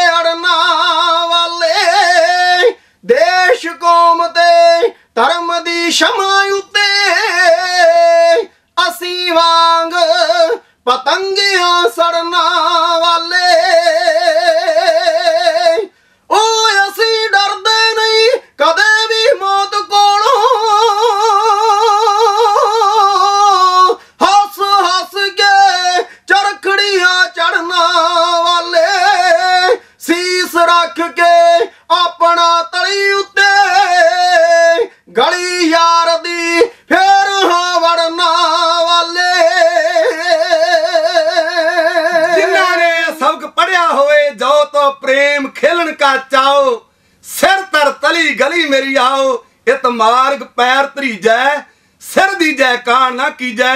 ਉਹ ਸੂਰਮੇ ਕਦੇ ਡੋਲਿਆ ਨਹੀਂ ਕਰਦੇ। ਇਤਿਹਾਸ ਕਹਿੰਦਾ ਹੈ, ਸੱਤਾਂ ਦਿਨਾਂ ਦੇ 700 ਦਾ 700 ਸਿੰਘ ਸ਼ਹੀਦ ਹੋ ਗਿਆ ਇੱਕ ਦੁਨੀਆ ਨਾਲੋਂ ਅਨੋਖੀ ਮਿਸਾਲ ਹੈ। ਕਿਸੇ ਇੱਕ ਸਿੰਘ ਨੇ ਵੀ ਆਪਣਾ ਧਰਮ ਛੱਡ ਕੇ ਇਸਲਾਮ ਧਾਰ ਨਹੀਂ ਕੀਤਾ। 11 ਮਾਰਚ ਵਾਲੇ ਦਿਨ ਕਹਾਣੀ ਖਤਮ ਹੋ ਗਈ। 11 ਮਾਰਚ ਤੋਂ ਲੈ ਕੇ 9 ਜੂਨ ਤੱਕ ਤਕਰੀਬਨ 3 ਮਹੀਨੇ ਬਣਦੇ ਐ। ਇਹਨਾਂ ਸਮਾਂ ਬਾਬਾ ਬੰਗਾ ਸਿੰਘ ਤੇ ਉਹਨਾਂ ਦੇ ਚੁਣਵੇਂ ਜਰਨੈਲ ਭਾਈ ਬਾਸ ਸਿੰਘ, ਭਾਈ ਫਤਿਹ ਸਿੰਘ, ਭਾਈ ਆਲੀ ਸਿੰਘ ਸਲੌਦੀ ਵਾਲੇ, ਇਹਨਾਂ ਨੂੰ ਰੋਜ਼ ਟਾਰਚਰ ਕੀਤਾ ਜਾਂਦਾ ਹੈ ਪੁੱਛਿਆ ਜਾਂਦਾ ਆ ਬੰਦਾ ਸਿੰਘਾ, ਇੰਨੀਆਂ ਲੁੱਟਾਂ ਮਾਰਾਂ, ਧਨ ਦੌਲਤ ਹੀਰੇ ਮੋਤੀ ਲੁੱਟੇ ਹਨ, ਕਿੱਥੇ ਲੁਕਾ ਕੇ ਰੱਖਿਆ ਸਾਡੇ ਹਵਾਲੇ ਕਰ।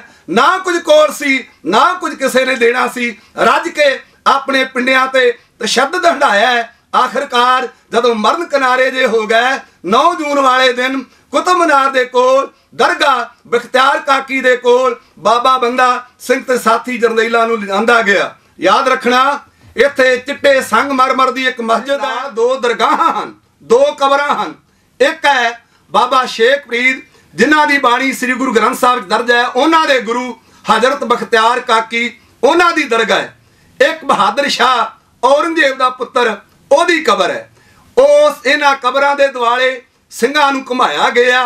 ਇਹ ਦੱਸਣ ਦੀ ਖਾਤਰ ਉਹ ਬਹਾਦਰ ਸ਼ਾਹ ਤੂੰ ਸਾਰਾ ਜ਼ੋਰ ਲਾ ਲਿਆ। ਬੰਦਾ ਸਿੰਘ ਤੇਰੇ ਕਾਬੂ ਨਹੀਂ ਆਇਆ ਪਰ ਅੱਜ ਵੇਖ ਉਹ ਬੰਦਾ ਸਿੰਘ ਨੂੰ ਤੇਰੀ ਕਬਰ ਦੇ ਦੁਆਲੇ ਘੁਮਾਇਆ ਜਾ ਰਿਹਾ ਹੈ। ਸ਼ਾਇਦ ਤੇਰੀ ਆਤਮਾ ਨੂੰ ਕੋਈ ਸ਼ਾਂਤੀ ਮਿਲ ਜਾਵੇ।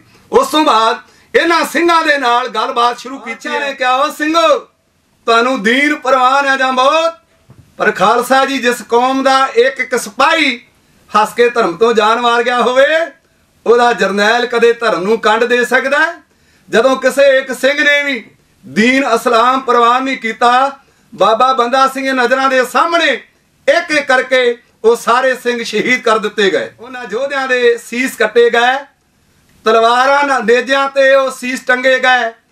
ਤਾਜਾ ਤਾਜਾ ਵਿੱਚੋਂ ਖੂਨ ਨੁਚੜ ਰਿਹਾ ਹੈ। ਉਹਨਾਂ ਸਿੰਘਾਂ ਦੇ ਸਿਰਾਂ ਦੀ ਵਾਰ ਬਾਬਾ ਬੰਦਾ ਸਿੰਘ ਦੇ ਦਿਵਾਲੇ ਕਰਕੇ ਬਾਦਸ਼ਾਹ ਵਰਖੀਰ ਨੇ ਆਖਾ ਬੰਦਾ ਸਿੰਘ, ਜਰਾ ਧਿਆਨ ਮਾਰ ਕੇ ਵੇਖਾਂ, ਇਹ ਸੰਤਰੀਆਂ ਬਾਵਾਂ ਜਿਨ੍ਹਾਂ ਤੇ ਤੂੰ ਮਾਣ ਕਰਦਾ ਸੈਂ। ਉਹ ਤੇਰਾ ਇੱਕ ਵੀ ਸਾਥੀ ਬਾਕੀ ਨਹੀਂ ਬਚਿਆ। ਕੇਵਲ ਤੇ ਕੇਵਲ ਕੱਲਾ ਤੂੰ ਰਹਿ ਗਿਆ। ਦੀਨ ਇਸਲਾਮ ਕਬੂਲ ਕਰਕੇ ਦੁਨੀਆ ਦੇ ਸੁੱਖ ਭੋਗ ਲੈ ਕੜ ਕੇ ਕਿਹਾ, ਕਿੱਥੇ ਤੇਰੇ ਸੂਰਮੇ ਉਹ ਜੋਧੇ ਜੰਗੀ, ਲੜਨ ਮਲਕਣ ਮੌਤ ਨਾਲ ਕਰ ਛਾਤੀ ਨੰਗੀ, ਜਿੰਨਾ ਸੀ ਵਿੱਚ ਲਹੂ ਦੇ ਕੱਲ ਧਰਤੀ ਰੰਗੀ, ਉਹ ਭੇਟਾ ਹੋ ਗਿਆ ਤੇਗ ਦੀ ਸਬੀਰ ਪਚੰਗੀ, ਤੂੰ ਸਲਾਮ ਕਬੂਲ ਲੈ, ਗੱਲ ਇਹਾ ਚੰਗੀ, ਉਹ ਨਜ਼ਰਾਂ ਲੈ ਮਨ ਭਾਉਂਦੀਆਂ, ਕਿਉਂ ਸਹੀ ਨਾ ਤੰਗੀ, ਉਹ ਬੰਦਾ ਸਿੰਘਾ, ਸ਼ਾਇਦ ਤੈਨੂੰ ਅਜੇ ਆਪਣੇ ਆਪ ਦਾ ਪਤਾ ਨਹੀਂ ਲੱਗ ਸਕਿਆ, ਉਹ ਤੇਰੇ ਵਰਗੇ ਸੂਰਮੇ, ਰੋਜ਼-ਰੋਜ਼ ਮਾਵਾਂ ਪੈਦਾ ਨਹੀਂ ਕਰਿਆ ਕਰਦੀਆਂ, ਉਹ ਕਮਲਿਆ, ਸਾਰੀ ਉਮਰ ਐਵੇਂ ਜਾਨਵਰਾਂ ਦੀ ਤਰ੍ਹਾਂ ਭੱਜਾ ਹੀ ਫਿਰਦਾ ਰਿਹਾ ਓਏ, ਕੋਈ ਜ਼ਿੰਦਗੀ ਦਾ ਸਵਾਦ ਮਾਣ ਲੈ, ਮੈਂ ਤੈਨੂੰ ਦੱਸੂਗਾ ਜ਼ਿੰਦਗੀ ਹੁੰਦੀ ਕੀ ਹੈ। ਇਹਨਾਂ ਧਨ ਦੌਲਤ ਬਖਸ਼ ਦਿਆਂਗਾ, ਪੁੱਤਾਂ ਪੋਤਰਿਆਂ ਤੱਕ ਮੁੱਕੇਗਾ ਨਹੀਂ।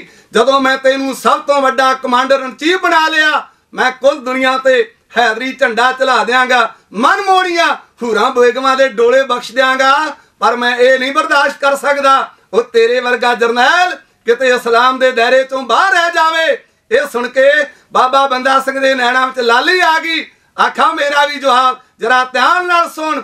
ਚੜੀ ਜਿਨ੍ਹਾਂ ਨੂੰ ਇਸ਼ਕ ਦੀ ਪਾਣ ਹੋਵੇ, ਰਾਜ ਭਾਗ ਤੇ ਹੂਰਾਂ ਤੇ ਥੁੱਕਦੇ ਨਹੀਂ, ਲੱਖਾਂ ਚੜਨ ਤੁਹਾਰ ਮੁਸੀਬਤਾਂ ਦੇ ਸਿਰੜੀ ਸਿੱਖ ਨਿਸ਼ਾਨਿਓ ਉਕਦੇ ਨਹੀਂ, ਜੀਵਨ ਬਖਸ਼ ਦਿੰਦੇ ਕੌਮਾਂ ਮੁਰਦੀਆਂ ਨੂੰ, ਉਹ ਸੂਲੀ ਚੜਨ ਮਨਸੂਰਤਾਂ ਝੁਕਦੇ ਨਹੀਂ, ਗੁਰਮੁਖ ਮਰਦ ਜਮਾਨੇ ਨੂੰ ਬਦਲ ਦਿੰਦੇ, ਖੂਨ ਡੁੱਲੇ ਸ਼ਹੀਦਾਂ ਦੇ ਸੁੱਕਦੇ ਨਹੀਂ। ਬਾਦਸ਼ਾਹ ਨੇ ਆਖਾ ਬੰਦਾ ਸਿੰਘ ਗੁਸਤਾਕੀ ਮਤ ਕਰ, ਤਸਵੀਰ ਦਾ ਦੂਸਰਾ ਪਾਸਾ ਵੀ ਹੈ ਇੱਕ ਪਾਸੇ ਦੁਨੀਆ ਦੇ ਸੁੱਖਾਂ ਦੀ ਲਿਸਟ ਵਿਖਾਈ ਹੈ, ਦੂਸਰੇ ਪਾਸੇ ਮੈਂ ਤੈਨੂੰ ਐਸੀ ਮੌਤੇ ਮਾਰਾਂਗਾ, ਮੌਤ ਵੀ ਡਰਦੀ ਤਰਾ ਤਰਾ ਕਰ ਉੱਠੇਗੀ। ਜਦੋਂ ਇੰਨੀ ਗੱਲ ਕਹੀ ਹੈ, ਬਾਬਾ ਬੰਦਾ ਸਿੰਘ ਨੇ ਆਖਾ ਕਿਨੂੰ ਡਰਾਵੇ ਦੇ ਰਿਹਾ? ਮੈਂ ਗੁਰੂ ਗੋਬਿੰਦ ਸਿੰਘ ਦਾ ਸਿੰਘ ਹਾਂ। ਜਰਾ ਮੇਰੀਆਂ ਅੱਖਾਂ ਵਿੱਚ ਅੱਖਾਂ ਪਾ ਕੇ ਵੇਖ, ਚਟਾਨਾਂ ਨਾਲ ਟਕਰਾ ਕੇ ਤੇਰੀ ਤਸਵੀਰ ਟੁੱਟੇਗੀ। ਉਹ ਮੇਰੀ ਹੱਡੀ ਤੇ ਮਾਰੇਗਾ, ਤੇਰੀ ਸ਼ਮਸ਼ੀਰ ਟੁੱਟੇਗੀ। ਆ ਮੇਰਾ ਪਿੰਜਰ ਤੇਰੇ ਹਲਾਤ ਤੋਂ ਮਜ਼ਬੂਤ ਹੈ ਬਾਲਮ। ਦੋਹਾਂ ਦੀ ਕੱਛ ਮਕਸ਼ ਅੰਦਰ ਤੇਰੀ ਜੰਜੀਰ ਟੁੱਟੇਗੀ। ਜੋ ਤੂੰ ਕਰਨਾ ਕਰਕੇ ਵੇਖ ਲੈ। ਇੱਕ ਪਾਸੇ ਲੱਖਾਂ ਤਰ੍ਹਾਂ ਦੇ ਲਾਲ ਡਰਾਵੇ ਦਿੱਤੇ ਜਾ ਰਹੇ ਹੈ ਦੂਸਰੇ ਪਾਸੇ ਕਲਗੀ ਧਰਦਾ ਲਾੜਲਾ ਜਵਾਬ ਦੇ ਰਿਹਾ ਸਵਾਲ ਜਵਾਬ ਉੱਤਰ ਪ੍ਰਸ਼ਨ ਝੋਕ ਸ਼ਬਦ ਰਾਹੀਂ ਜੋਗਾ ਸਿੰਘ ਜੋਗੀ ਕਵੀਸ਼ਰ ਦਾ ਜਥਾ ਬੇਨਤੀ ਕਰਦਾ ਹੈ ਬਾਬਾ ਬੰਦਾ ਸਿੰਘ ਕਹਿ ਰਿਹਾ ਸੀ ਉਹ ਬਾਦਸ਼ਾਹ ਮੈਂ ਬਹੁਤੀਆਂ ਗੱਲਾਂ ਨਹੀਂ ਜਾਣਦਾ। ਕਰ ਦੇ ਚਰਖੀ ਤੇ ਚਾੜ ਦੇ ਜੋ ਕੁਝ ਕਰਨਾ ਕਰਕੇ ਵੇਖ ਲੈ। ਜੇ ਕਿਤੇ ਮੇਰੇ ਮੂੰਹ ਇੱਕ ਵਾਰ ਵੀ ਕਿਤੇ ਹਾਏ ਜਾਂ ਸੀ ਕਢਵਾ ਲਈ, ਤਾਂ ਸਮਝੀ ਫੇਰ ਮੈਂ, ਗੁਰੂ ਗੋਬਿੰਦ ਸਿੰਘ ਦਾ ਪੁੱਤਰ ਹੀ ਨਾ ਹੋਇਆ।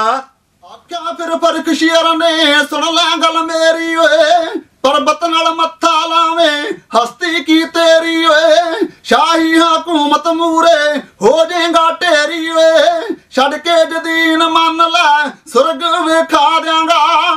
ਛੱਡਿਆ ਜੇ ਧਰਮ ਨਾ ਸਿੰਘਾ, ਪੁੱਠੀ ਖਲ ਲਾ ਦਿਆਂਗਾ। ਕਮਚਾਂ ਨਾਲ ਮਾਰ ਸਿੰਘ ਨੂੰ ਚੜ ਗਿਆ, ਗੁੱਸਾ ਚਟਕੈਰਾਂ ਦਾ। ਅੱਖਾਂ ਵਿੱਚ ਲਾਲੀ ਆ ਗਈ, ਮੱਥੇ ਵਟਕੈਰਾਂ ਦਾ। ਗੁੱਸੇ ਵਿੱਚ ਖੂਨ ਉਬਲਿਆ, ਖਾ ਕੇ ਫਟਕੈਰਾਂ ਦਾ। ਕਹਿੰਦਾ ਮੈਂ ਸਿੱਖੀ ਖਾਤਰ ਸੂਲੀ ਚੜ ਜਾਵਾਂਗਾ। ਸਿੱਖੀ ਦੇ ਸਿਦਕ ਬਾਦਸ਼ਾਹ ਤੋੜ ਨਿਭਾਵਾਂਗਾ ਧਰਮੋਂ ਕਦੇ ਡੋਲਦਾ।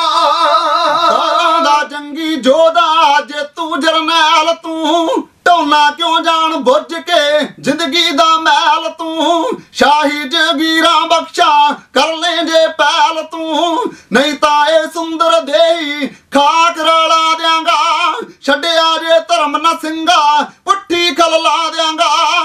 ਕਮਚਾਂ ਨਾਲ ਮਾਸ ਤੜਾ ਦੂੰ। ਹੋ ਬਣਨਾ ਸੰਕਲਗੀ ਧਰਦਾ, ਬਾਤ ਮਾਮੂਲੀ ਨਹੀਂ। ਬਹਿਣਾ ਅੰਗਿਆਰਾਂ ਉੱਤੇ ਛੇਜਾਏ ਕੂਲੀ ਨਹੀਂ। ਛਕਿਆ ਜਨ ਪੌਲ ਕਹਿੰਦੀ ਨਹੀਂ ਭੇਟਾ ਸਰਮੱਦ ਵਾਂਗਰਾ, ਸੀਸ ਚੜਾਵਾਂਗਾ। ਸਿੱਖੀ ਦੇ ਸਿਦਕ ਬਾਦਸ਼ਾਹ ਤੋੜ ਨਿਭਾਵਾਂਗਾ ਧਰਮੋਂ ਨਹੀਂ ਕਦੇ ਡੋਲਦਾ। ਤੇਰੇ ਜੋਦੇ ਤੇਰੇ ਕੋੜ ਹਾਲਾਦੀ ਦੇ, ਪੂਰਾਂ ਦੇ ਪੂਰ ਖਪਾਤੇ ਓਏ ਆਸ਼ਕ ਆਜ਼ਾਦੀ ਦੇ। ਨੀਤੀ ਨੂੰ ਜਾਣ ਕੇ ਤੁਰਿਆ, ਰਸਤੇ ਬਰਬਾਦੀ ਦੇ। ਘਰਾਂ ਦਾ ਕਿਆਨ ਮੰਨੇ, ਦੋਜਕ ਵਿੱਚ ਪਾ ਜਾਗਾ ਛੱਡਿਆ ਜੇ ਧਰਮ ਨਾ ਸਿੰਘਾ, ਪੁੱਠੀ ਖਲ ਲਾ ਜਾਗਾ ਕਮਚਾਂ ਨਾਲ ਮਾਂ ਤੁੜਾ ਦੂੰ। ਉਹ ਝੁਕਦੇ ਨਹੀਂ ਗਿੱਦੜਾ ਸਾਵੇਂ ਉਹ ਸ਼ੇਰਾਂ ਦੇ ਬੱਚੇ ਜੋ ਲਾਲਚ ਦੇ ਵਿਸ਼ ਨਹੀਂ ਸਕਦੇ ਉਹ ਆਸ਼ਕਾਨ ਸੱਚੇ ਜੋ ਮੌਤ ਤੋਂ ਡਰਨ ਕਿਸ ਤਰ੍ਹਾਂ, ਤੇਗਾ ਤੇ ਨੱਚੇ ਜੋ ਕਦੇ ਜੋ ਬੁੱਝ ਨਾ ਸਕੇ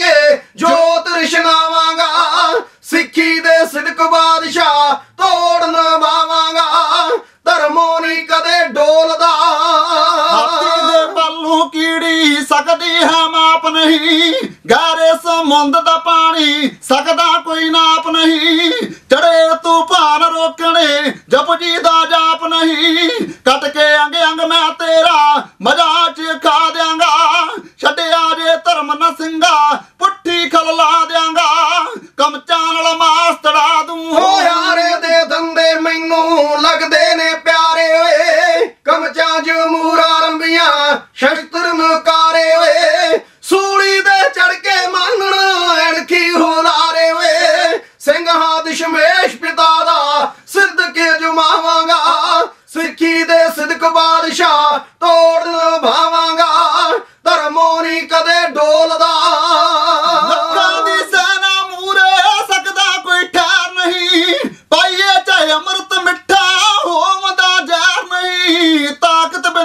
ਵੀ ਸਫਲਾ ਹੁੰਦੀ ਕੋਈ ਲਹਿਰ ਨਹੀਂ। ਮੰਨ ਲੈ ਜੇ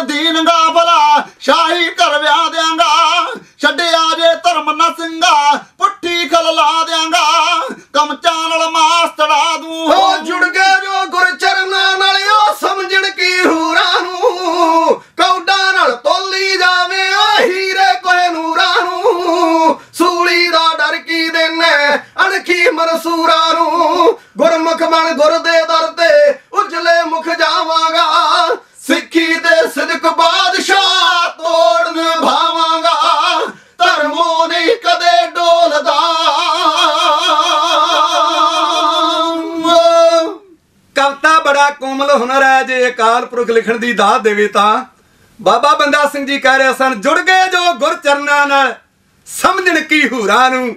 ਉਹ ਕੌਡਾ ਨਾਲ ਤੋਲੀ ਜਾਣਾ ਹੀਰੇ ਕੋਹੇ ਨੂਰਾਂ ਨੂੰ, ਸੂਲੀ ਦਾ ਡਰ ਕੀ ਦੇਣਾ ਅਣਖੀ ਮਨਸੂਰਾਂ ਨੂੰ, ਗੁਰਮੁਖ ਬਣ ਗੁਰ ਦੇ ਦਰ ਤੇ, ਉਜਲੇ ਮੁਖ ਜਾਵਾਂਗਾ, ਸਿੱਖੀ ਤੇ ਸਿਦਕ ਬਾਦਸ਼ਾਹ, ਤੋੜ ਨਿਭਾਵਾਂਗਾ, ਧਰਮੋਂ ਨਹੀਂ ਕਦੇ ਡੋਲਦਾ। ਬਾਦਸ਼ਾਹ ਹਰਖੀਰ ਨੇ ਆਖਾ ਬੰਦਾ ਸਿੰਘ ਮੌਜ ਜਿੰਨੀ ਦੂਰੋਂ ਚੰਗੀ ਲੱਗਦੀ ਹੈ ਇਹ ਨੇੜੇ ਆਇਆ ਉਨੀ ਹੀ ਭਿਆਨਕ ਬਣ ਜਾਇਆ ਕਰਦੀ ਹੈ ਅਜੇ ਵੀ ਕੁਝ ਵਿਗੜਿਆ ਨਹੀਂ ਉਹ ਜਰਨੈਲਾ, ਤੇਰੀ ਇਹ ਚੜ੍ਹਾਈ ਕਿਸੇ ਦੁਨੀਆ ਦੇ ਅਜਿੱਤ ਕਲੇ ਵਾਸਤੇ ਜਿੱਤਣ ਵਾਸਤੇ ਚਾਹੀਦੀ ਸੀ, ਜੋ ਹੱਸ ਕੇ ਤੂੰ ਮੌਤ ਨੂੰ ਗਲਵਕੜੀ ਪਾਉਣ ਜਾ ਰਿਹਾ ਬਾਬਾ ਬੰਦਾ ਸਿੰਘ ਨੇ ਆਖਿਆ, ਓਏ, ਇਹ ਸਿਰ ਕੱਟਿਆ ਤਾਂ ਜਾ ਸਕਦਾ ਹੈ ਪਰ ਕਿਸੇ ਜਾਬਰ ਦੇ ਸਾਹਮਣੇ ਝੁਕ ਨਹੀਂ ਸਕਦਾ। ਕਿਉਂਕਿ ਕਲਗੀਧਰ ਗੁਰੂ ਗੋਬਿੰਦ ਸਿੰਘ ਦੇ, ਸਿੰਘ ਦਾ ਇਹ ਸੀਸ ਹੈ। ਬੱਬਰ ਸ਼ੇਰ ਜਿਵੇਂ ਮੂੰਹ ਤੋੜਵਾ ਜਵਾਬ ਹੋਰ ਦੇ ਰਿਹਾ ਉਸ ਵੇ ਦੀ ਕਹਾਣੀ ਹੈ, ਦੇ ਲੱਖ ਤਸੀਆਂ ਨੂੰ ਪਰ ਨਹੀਂ ਸਿਰ ਸਿੰਘ ਦਾ ਝੁਕ ਸਕਦਾ।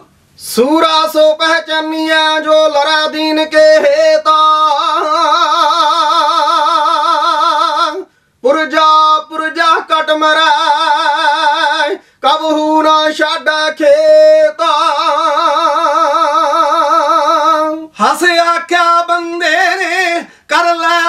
ਬਾਦਸ਼ਾਹ ਜੋ ਕਰਨਾ ਸੂਲੀ ਦੇ ਦੰਦਿਆਂ ਤੋਂ ਅਣਖੀ ਮਨਸੂਰਾਂ ਕੀ ਡਰਨਾ ਸਿੰਘ ਅਸਲ ਕੀਦੇ ਤੋਂ ਚੱਲ ਕੇ ਜਬਰ ਨਹੀਂ ਰੁਕ ਸਕਦਾ। ਦੇ ਲੱਖ ਤਸੀਹੇ ਚਾਹੇ ਪਰ ਨਹੀਂ ਸਿਰ ਸਿੰਘ ਦਾ ਝੁਕ ਸਕਦਾ। ਕਰ ਪੁੱਤਰ ਸ਼ੇਰਾਂ ਦੇ ਵੇਖੇ ਨਹੀਂ ਗਿੱਦੜਾਂ ਤੋਂ ਡਰਦੇ। ਆਸ਼ਕ ਆਜ਼ਾਦੀ ਦੇ ਹੱਸ ਕੇ ਹੋਣੀ ਹੀਰ ਨੂੰ ਅਰਦੇ। ਯਾਰ ਵਿਸ਼ਾ ਦੇਵੋ। ਪਿੱਛੇ ਪੈਰ ਨਹੀਂ ਰੁਕ ਸਕਦਾ। ਦੇ ਲੱਖ ਤਸੀਹੇ ਚਾਹੇ ਪਰ ਨਹੀਂ ਸਿਰ ਸਿੰਘ ਦਾ ਝੁਕ ਸਕਦਾ। ਤਖਤਾਂ ਦੇ ਮਾਲਕ ਜੋ ਤਖਤਾਂ ਦੇ ਮਾਲਕ ਜੋ ਭੁੱਲ ਕੇ ਭੀਖ ਕਦੇ ਨਾ ਮੰਗਣ। ਨਹੀਂ ਥੁੱਕਦਾ ਲਾਲਚ ਤੇ ਚੜ ਗਈ ਜਲੂਸ ਕੀ ਦੀ ਰੰਗਣ।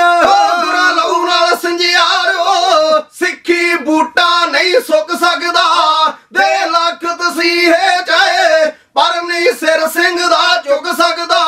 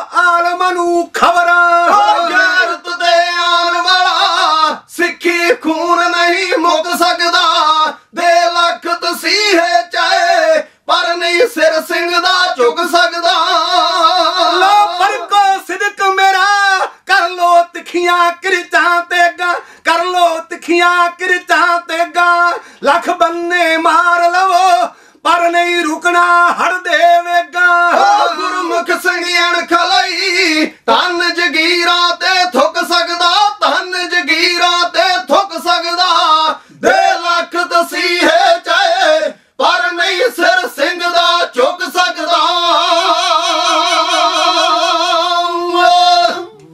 ਸ਼ੇਰ ਦੀ ਗਰਜ ਸੁਣ ਕੇ ਕਚਹਿਰੀ ਅੰਦਰ ਸਨਾਟਾ ਛਾ ਗਿਆ, ਚੁੱਪ ਵਰਤ ਗਈ।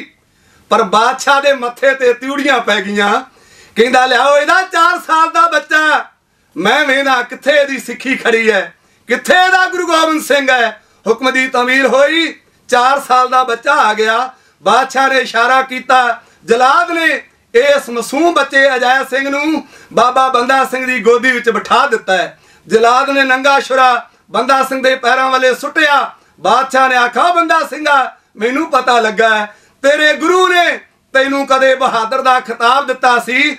ਮੈਂ ਤੇਰੀ ਅੱਜ ਬਹਾਦਰੀ ਵੇਖਣੀ ਹੈ ਜੇ ਤੂੰ ਵਾਕਿਆ ਬਹਾਦਰ ਹੈ ਆ ਛੁਰਾ ਫੜ ਆਪਣੇ ਬੱਚੇ ਨੂੰ ਕਤਲ ਕਰ। ਬਾਬਾ ਬੰਦਾ ਸਿੰਘ ਨੇ ਸਿਰ ਹਿਲਾ ਕੇ ਆਖਾ ਬਾਦਸ਼ਾਹ ਤੈਨੂੰ ਇਸ ਗੱਲ ਦਾ ਪਤਾ ਹੈ ਕਿ ਕਲਗੀਆਂ ਵਾਲੇ ਨੇ ਮੈਨੂੰ ਬਹਾਦਰੀ ਦਾ ਖਿਤਾਬ ਦਿੱਤਾ ਹੈ ਤਾਂ ਤੈਨੂੰ ਇਸ ਗੱਲ ਦਾ ਵੀ ਪਤਾ ਹੋਣਾ ਚਾਹੀਦਾ ਹੈ ਸਾਡੇ ਗੁਰੂ ਨੇ ਸਾਨੂੰ ਕੋਈ ਸਿਧਾਂਤ ਵੀ ਦਿੱਤਾ ਹੈ। ਉਹ ਬਾਦਸ਼ਾਹ, ਇਹਦੀ ਜਗ੍ਹਾ ਆਪਣਾ ਪੁੱਤਰ ਬਿਠਾ ਦੇ ਮੇਰੀ ਗੋਦੀ ਵਿੱਚ। ਬੰਦਾ ਸਿੰਘ, ਤੇਰੇ ਪੁੱਤਰ ਤੇ ਵੀ ਵਾਰ ਨਾ ਕਰੇ। ਅਸੀਂ ਕਦੇ ਕਿਸੇ નિર્ਦੋਸ਼ ਤੇ ਵਾਰ ਨਹੀਂ ਕਰਦੇ। ਬਾਦਸ਼ਾਹ ਨੇ ਆਖਿਆ, ਫਿਰ ਵੇਖ ਕੀ ਬਣਦਾ ਹੈ। ਜਲਾਦ ਨੂੰ ਹੁਕਮ ਹੋਇਆ, ਬਾਬਾ ਬੰਦਾ ਸਿੰਘ ਦੀ ਗੋਦੀ ਵਿੱਚ। ਉਹ 4 ਸਾਲ ਦੇ ਮਾਸੂਮ ਬੱਚੇ ਨੂੰ ਕੋ ਕੋ ਕੇ ਜਿਵੇਂ ਸ਼ਹੀਦ ਕੀਤਾ ਗਿਆ, ਜਿਵੇਂ ਬੱਚੇ ਦਾ ਦਿਲ ਕੱਢ ਕੇ ਬਾਬਾ ਬੰਦਾ ਸਿੰਘ ਦੇ ਮੂੰਹ 'ਚ ਪਾਇਆ ਗਿਆ। ਧਰਤੀ ਅਸਮਾਨ ਕੰਬ ਗਏ, ਦਰਦਾਂ ਵਾਲੇ ਦਿਲ ਰੋ ਕੁਰਲਾ ਉੱਠੇ। ਹਰ ਹਿਰਦੇ ਵਿੱਚ ਇਹ ਆਵਾਜ਼ ਸੁਣ ਕੇ, ਇਹ ਜ਼ੁਲਮ ਵੇਖ ਕੇ ਲੋਕ ਘਬਰਾ ਗਏ, ਕਿਵੇਂ ਇਹ ਕਾਰਾ ਵਾਪਰਿਆ? ਉਸ ਵੇ ਦੀ ਕਹਾਣੀ ਨੂੰ ਮੇਰੇ ਨਾਲ ਦੇ ਸਾਥੀ ਦਲਜੀਤ ਸਿੰਘ ਸੇਖਵਾ, ਰਣਜੀਤ ਸਿੰਘ ਚੀਮਾ ਉਹ ਬਿਆਨ ਕਰਦੇ ਹਨ? ਚਾਰ ਸਾਲ ਦਾ ਅਜੈ ਸਿੰਘ ਲਾਡਲਾ। ਚਾਰ ਸਾਲ ਦਾ ਅਜੈ ਸਿੰਘ ਲਾਡਲਾ। ਬੋਲੀ ਸ਼ਕਲ ਤੇ ਫੱਬਵੀਂ ਨੋਹਾਰ। ਬੋਲੀ ਸ਼ਕਲ ਤੇ ਫੱਬਵੀਂ ਨੋਹਾਰ। ਚਾਰ ਸਾਲ ਦਾ ਅਜੈ ਸਿੰਘ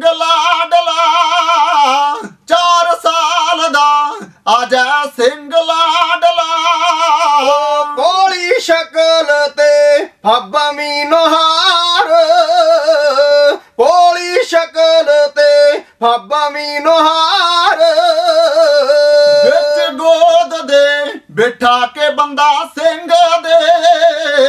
ਵਿੱਚ ਗੋਦ ਦੇ ਬਿਠਾ ਕੇ ਬੰਦਾ ਸਿੰਘ ਦੇ। ਕੀਤੇ ਜਾਰ ਮਾਨੇ ਸ਼ੁਰਿਆਂ ਦੇ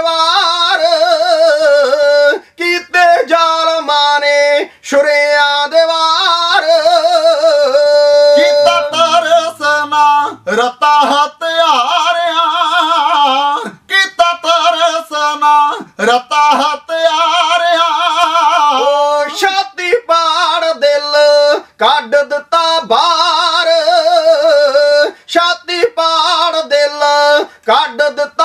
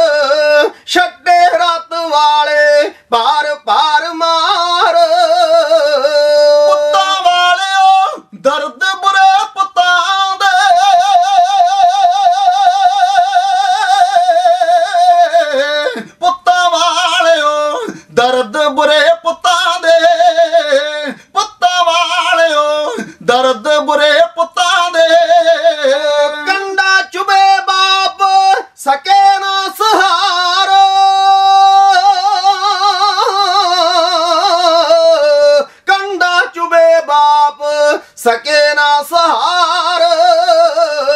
ਕੰਡਾ ਚੁਬੇ ਬਾਪ ਸਕੇ ਨਾ ਸਹਾਰ।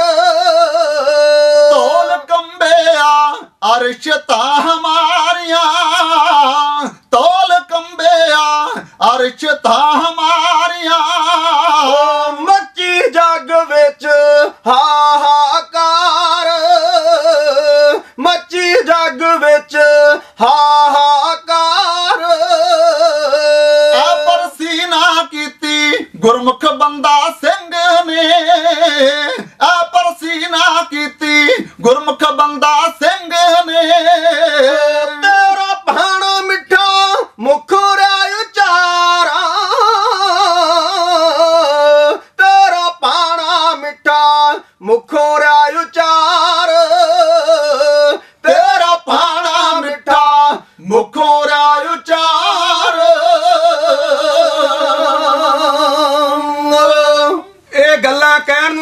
ਸੌਖੀਆਂ ਹਨ, ਪਰ ਜਿਹਦੇ ਤੇ ਬੀਤਦੀ ਹੈ ਪਤਾ ਉਹਨੂੰ ਲੱਗਦਾ ਹੈ ਆਪਣੇ ਬੱਚਿਆਂ ਨੂੰ ਅੱਖਾਂ ਦੇ ਸਾਹਮਣੇ ਲਿਆ ਕੇ ਵੇਖੋ ਖਾਂ।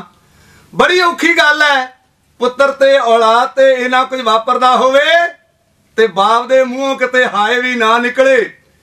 ਬੱਚੇ ਦਾ ਦਿਲ ਕੱਢ ਕੇ ਜਦੋਂ ਬਾਬਾ ਬੰਦਾ ਸਿੰਘ ਦੇ ਮੂੰਹ 'ਚ ਪਾਇਆ ਗਿਆ ਪੰਜਾਬੀ ਦੀ ਕਹਾਵਤ ਹੈ ਦੁਸ਼ਮਣ ਬਾਤ ਕਰੇ ਅਣਹੋਣੀ। ਦੁਸ਼ਮਣ ਉਸ ਰਗ ਨੂੰ ਛੇੜਦਾ ਹੈ ਜਿਹਨੂੰ ਛੇੜਿਆ, ਪੀੜਾ, ਦਰਦ ਜ਼ਿਆਦਾ ਮਹਿਸੂਸ ਹੋਵੇ। ਬਾਦਸ਼ਾਹ ਨੇ ਆਖਾ ਬੰਦਾ ਸਿੰਘ, ਕੁਝ ਮਜ਼ਾ ਆਇਆ ਮਜ਼ਾ? ਬਾਬਾ ਜੀ ਨੇ ਆਖਾ ਮੇਰੇ ਦੱਸਿਆ ਪਤਾ ਨਹੀਂ ਲੱਗਣਾ ਕਿ ਕਿੰਨਾ ਕੁ ਮੈਨੂੰ ਮਜ਼ਾ ਆਇਆ ਜੇ ਪੂਰਾ ਮਜ਼ਾ ਲੈਣਾ ਇਹ ਕੁਝ ਤੇਰੇ ਪੁੱਤਰ ਨਾਲ ਵਾਪਰੇ। ਥੇ- ਫੇਰ ਤੈਨੂੰ ਪਤਾ ਲੱਗੇਗਾ ਕਿੰਨਾ ਕੁ ਮਜ਼ਾ ਆਉਂਦਾ ਹੈ। ਪਰ ਬਾਦਸ਼ਾਹ ਫਿਕਰ ਨਾ ਕਰ ਓਏ, ਮੈਂ ਲਾੜੀ ਮੌਤ ਲਾਉਣ ਦੀ ਤਿਆਰੀ ਕਰ ਰਿਹਾ ਹਾਂ। ਬੇਸ਼ੱਕ ਇਹ ਮੇਰੇ ਬੱਚੇ ਦਾ ਦਿਲ ਹੈ ਤੇਰੇ ਵੱਲੋਂ ਮੈਨੂੰ ਸ਼ੁਹਾਰਾ ਲਾਇਆ ਜਾ ਰਿਹਾ, ਸ਼ੁਹਾਰਾ। ਅੱਗ ਲੱਗ ਗਈ। ਕਹਿਣ ਲੱਗਾ, ਅੱਗੇ ਵੇਖ ਕੀ ਬਣਦਾ ਹੈ। ਅੰਗ ਅੰਗ ਕੱਟ ਕੇ ਆਂਦਰਾਂ ਵਿੱਚ ਪਰੋ ਕੇ ਜਦੋਂ ਗਲ ਦੇ ਵਿੱਚ ਹਾਰ ਲਟਕਾਇਆ ਗਿਆ, ਆਖਿਆ, ਬੰਦਾ ਸਿੰਘ, ਹੁਣ ਮਜ਼ਾ ਆਇਆ? ਬਾਬਾ ਜੀ ਨੇ ਆਖਿਆ ਹਾਰੇ ਹੋਏ ਬਾਦਸ਼ਾਹ ਵੱਲੋਂ, ਜਿੱਤੇ ਹੋਏ ਬਾਦਸ਼ਾਹ ਦੇ ਗਲ ਵਿੱਚ ਜਿੱਤ ਦੀ ਮਾਲਾ ਪਾਈ ਜਾ ਰਹੀ ਹੈ। ਜਦੋਂ ਅੱਖਾਂ ਵਿੱਚ, ਮੱਥੇ ਵਿੱਚ ਰਾਦੇ ਛੱਟੇ ਮਾਰੇ ਗਏ, ਕਹਿਣ ਲੱਗਾ, ਹੁਣ ਮਜ਼ਾ ਆਇਆ? ਬਾਬਾ ਬੰਦਾ ਸਿੰਘ ਨੇ ਆਖਿਆ ਉਹ ਮੇਰੇ ਮੱਥੇ ਤੇ ਤਿਲਕ ਲਾਇਆ ਜਾ ਰਿਹਾ ਹੈ। ਅੱਗ ਲੱਗੀ ਬਾਦਸ਼ਾਹ ਨੂੰ। ਕਹਿਣ ਲੱਗਾ ਬੰਦਾ ਸਿੰਘਾ, ਹੁਣ ਤੇਰੀ ਵਾਰੀ ਹੈ ਤੂੰ ਦੱਸ ਓਏ, ਤੈਨੂੰ ਕਿਹੜੀ ਮੁਕਤੇ ਮਾਰਿਆ ਜਾਵੇ? ਕਲਗੀਧਰ ਦੇ ਲਾਲ ਨੇ ਆਖਾ ਬਾਦਸ਼ਾਹ, ਜਿਹੋ ਜੀ ਮੌਤ ਤੂੰ ਆਪਣੇ ਵਾਸਤੇ ਚਾਹੁੰਦਾ ਉਹ ਮੌਤ ਮੈਨੂੰ ਦੇ ਲੈ। ਉਹ ਪੂਰਨ ਗੁਰਸਿੱਖ ਸੀ, ਜਿਵੇਂ ਬਾਬਾ ਬੰਦਾ ਸਿੰਘ ਦੀਆਂ ਅੱਖਾਂ ਕੱਢ ਕੇ, ਅੰਗ ਅੰਗ ਕੱਢ ਕੇ ਬਾਬਾ ਬੰਦਾ ਸਿੰਘ ਨੂੰ ਬਾਦਸ਼ਾਹ ਦੇ ਹੁਕਮ ਨਾਲ ਸ਼ਹੀਦ ਕੀਤਾ ਗਿਆ ਸੀ। ਬਾਬਾ ਜੀ ਦੀ ਸ਼ਹਾਦਤ ਤੋਂ ਲਗਭਗ ਪੌਣੇ ਕੁ 3 ਸਾਲ ਬਾਅਦ ਇਸੇ ਬਾਦਸ਼ਾਹ ਦੀਆਂ ਅੱਖਾਂ ਕੱਢ ਕੇ ਇਹਦੇ ਵਿਰੋਧੀਆਂ ਨੇ ਇਹਨੂੰ ਅੰਨਿਆ ਕਰਕੇ ਖਤਮ ਕੀਤਾ ਸੀ। ਕਲਗੀਧਰ ਦੇ ਲਾਲ ਦੇ ਬਹੁਤ ਪੂਰੇ ਸਨ। ਇੱਕ ਸਾਧ ਬਚਨ ਟਲਾਦਾ ਜਿਹੜੇ ਲੋਕ ਕਹਿੰਦੇ ਐ ਬਾਬਾ ਬੰਦਾ ਸਿੰਘ ਗੁਰੂ ਦਾ ਹੁਕਮ ਭੁੱਲ ਗਿਆ, ਗੁਰੂ ਬਣ ਕੇ ਬਹਿ ਗਿਆ। ਉਹਨੇ ਗੁਰੂ ਦਾ ਹੁਕਮ ਭੁੱਲ ਕੇ ਵਿਆਹ ਕਰਵਾ ਲਿਆ। ਉਹਦਾ ਜੱਜ ਸੱਜ ਜਾਂਦਾ ਰਿਹਾ। ਤਾਂ ਉਹਦੀ ਹਾਰ ਹੋਈ। ਮੈਂ ਉਹਨਾਂ ਵਿਦਵਾਨਾਂ ਨੂੰ ਬੜੇ ਦਲੀਲਾਂ ਸਹਿਤ ਪੁੱਛਣਾ ਚਾਹੁੰਦਾ ਹਾਂ, ਬਾਬਾ ਬੰਦਾ ਸਿੰਘ ਨੇ ਕਦੇ ਵੀ ਆਪਣੇ ਆਪ ਨੂੰ ਗੁਰੂ ਨਹੀਂ ਕਹਾਇਆ। ਗੁਰੂ ਦਾ ਦਾਸ, ਗੁਰੂ ਸਾਹਿਬ ਨੂੰ ਸੱਚਾ ਪੁਰਖ, ਮਹਾਪੁਰਖ ਕਹਿ ਕੇ ਸਤਿਕਾਰ ਕਰਦਾ ਰਿਹਾ। ਜੇ ਉਹਨੇ ਗੁਰੂ ਬਣਨਾ ਹੁੰਦਾ, ਬੜਾ ਸੁਨਹਿਰੀ ਮੌਕਾ ਸੀ। ਪੰਜਾਬ ਦੀ ਧਰਤੀ ਤੇ ਪਹਿਲਾ ਸਿੱਖ ਰਾਜ ਕਾਇਮ ਕੀਤਾ। ਲੋਹਗੜ੍ਹ ਨੂੰ ਆਪਣੀ ਰਾਜਧਾਨੀ ਬਣਾਇਆ, ਕਿ ਆਪਣੇ ਨਾਮ ਦਾ ਮੋਹਰ ਸਿੱਕਾ ਜਾਰੀ ਕੀਤਾ? ਮੋਹਰ ਤੇ ਅਜੇ ਵੀ ਸ਼ਬਦ ਮਿਲਦੇ ਐ। ਉਹ ਸ਼ਬਦ ਸਨ, ਦੇਗੋ, ਤੇਗੋ ਫਤਿਹ ਨੁਸਰਤ ਬੇਦਰੰਗ ਯਾਦ ਤਜ ਜਨਾਨ ਗੁਰੂ ਗੋਬਿੰਦ ਸਿੰਘ, ਉਹ ਸਾਰੀ ਉਮਰ ਗੁਰੂ ਨਾਨਕ, ਗੁਰੂ ਗੋਬਿੰਦ ਸਿੰਘ ਮਹਾਰਾਜ ਕੂਕਦਾ ਰਹਿ ਗਿਆ। ਅਸਾਂ ਮੱਥੇ ਤੇ ਕਲੰਕ ਲਾ ਦਿੱਤਾ, ਉਹ ਗੁਰੂ ਬਣ ਬੈਠਾ। ਫਿਰ ਜੀ, ਉਹਨੇ ਗੁਰੂ ਦਾ ਹੁਕਮ ਭੁੱਲ ਕੇ ਵਿਆਹ ਕਰਵਾ ਲਿਆ, ਕਿ ਸਿੱਖੀ ਵਿੱਚ ਗ੍ਰਸਤੀ ਮਨਾਈ ਹੈ।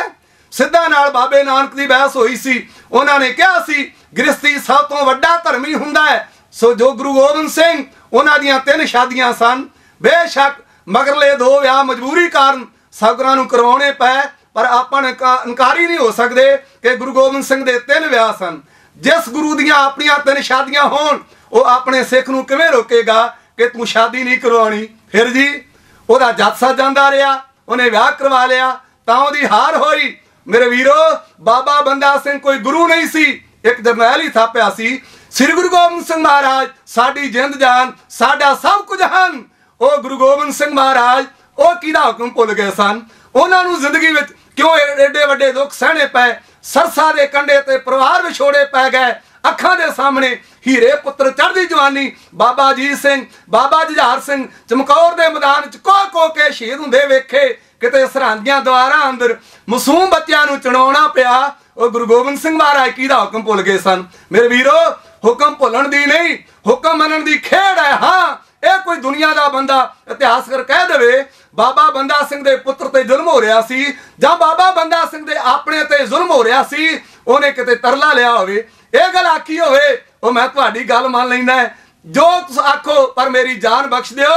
ਜੇ ਭਾਈ ਉਦੋਂ ਡੋਲਿਆ ਨਹੀਂ, ਸਾਡੇ ਵਰਗੇ ਕੱਚਿਆਂ ਪਿੱਲਿਆਂ ਨੂੰ ਕੋਈ ਹੱਕ ਨਹੀਂ, ਉਹਦੀ ਮਹਾਨ ਅਜੀਬ ਸ਼ਖਸੀਅਤ ਤੇ ਚਿੱਕੜ ਉਛਾਲਿਆ ਜਾਵੇ। ਸੋ ਬਾਬਾ ਬੰਦਾ ਸਿੰਘ ਦੇ ਨੈਣਾਂ ਵਿੱਚ ਲਾਲੀ ਹੈ, ਚੌਂਕੜਾ ਮਾਰ ਕੇ ਬੈਠਾ ਹੈ ਆਲੇ ਦੁਆਲੇ ਗਿਰਜਾਂ ਵਾਂਗ ਜਲਾਦਾਂ ਨੇ ਘੇਰਾ ਕੱਤਿਆ ਹੋਇਆ ਕਿਵੇਂ ਸੂਰਮੇ ਦੀ ਚੜ੍ਹਤ ਹੈ, ਮੌਤ ਵਿਆਹਣ ਸਮੇਂ, ਉਸ ਵੇਲੇ ਦੇ ਚੰਦ ਸ਼ਬਦ ਕੁਮਾਰ ਦੇ ਰਾਹੀਂ ਇਉਂ ਬਿਆਨ ਕੀਤੇ ਜਾਂਦੇ ਹਨ। ਮਿੱਠਾ ਧਰਮੀ ਮਾਰ ਕੇ ਚੌਂਕੜਾ ਸਿੱਖੀ ਗੁਣਾ ਵਿੱਚ ਭਰਪੂਰ ਜਸਨੇ ਸ਼ਮਾ ਆਜ਼ਾਦੀ ਲਾਟ ਤੋਂ। ਜਿਸਨੇ ਸ਼ਮਾ ਆਜ਼ਾਦੀ ਲਾਡ ਤੋਂ। ਸੜਨਾ ਕੀਤਾ ਹੈ ਮਨਜੂਰ ਜੀ ਦੇ ਨਾਮ ਤੋਂ ਦੁਸ਼ਮਣ ਕੰਬਦੇ ਤੇਰੇ ਨਾਮ ਤੋਂ ਦੁਸ਼ਮਣ ਕੰਬਦੇ ਜਸ ਦੀ ਕਰਨੀ ਜਗ ਮਸ਼ਹੂਰ।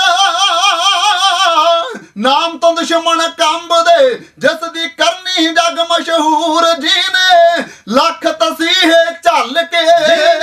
ਲੱਖ ਤਸੀਹੇ ਚੱਲ ਕੇ ਪਾਲੇ ਸਿੱਖੀ ਦੇ ਦਸਤੂਰ ਕਈਆਂ ਸੱਚਿਆਂ ਦੇ ਵਿੱਚ ਢਲ ਕੇ। ਸੱਚਿਆਂ ਦੇ ਵਿੱਚ ਢਲ ਕੇ ਜਿਹੜਾ ਹੋਇਆ ਸੁੱਧ ਮਨੂਰ ਜਬਰ ਸਿਤਮ ਅਤੇ ਅਨਿਆਂ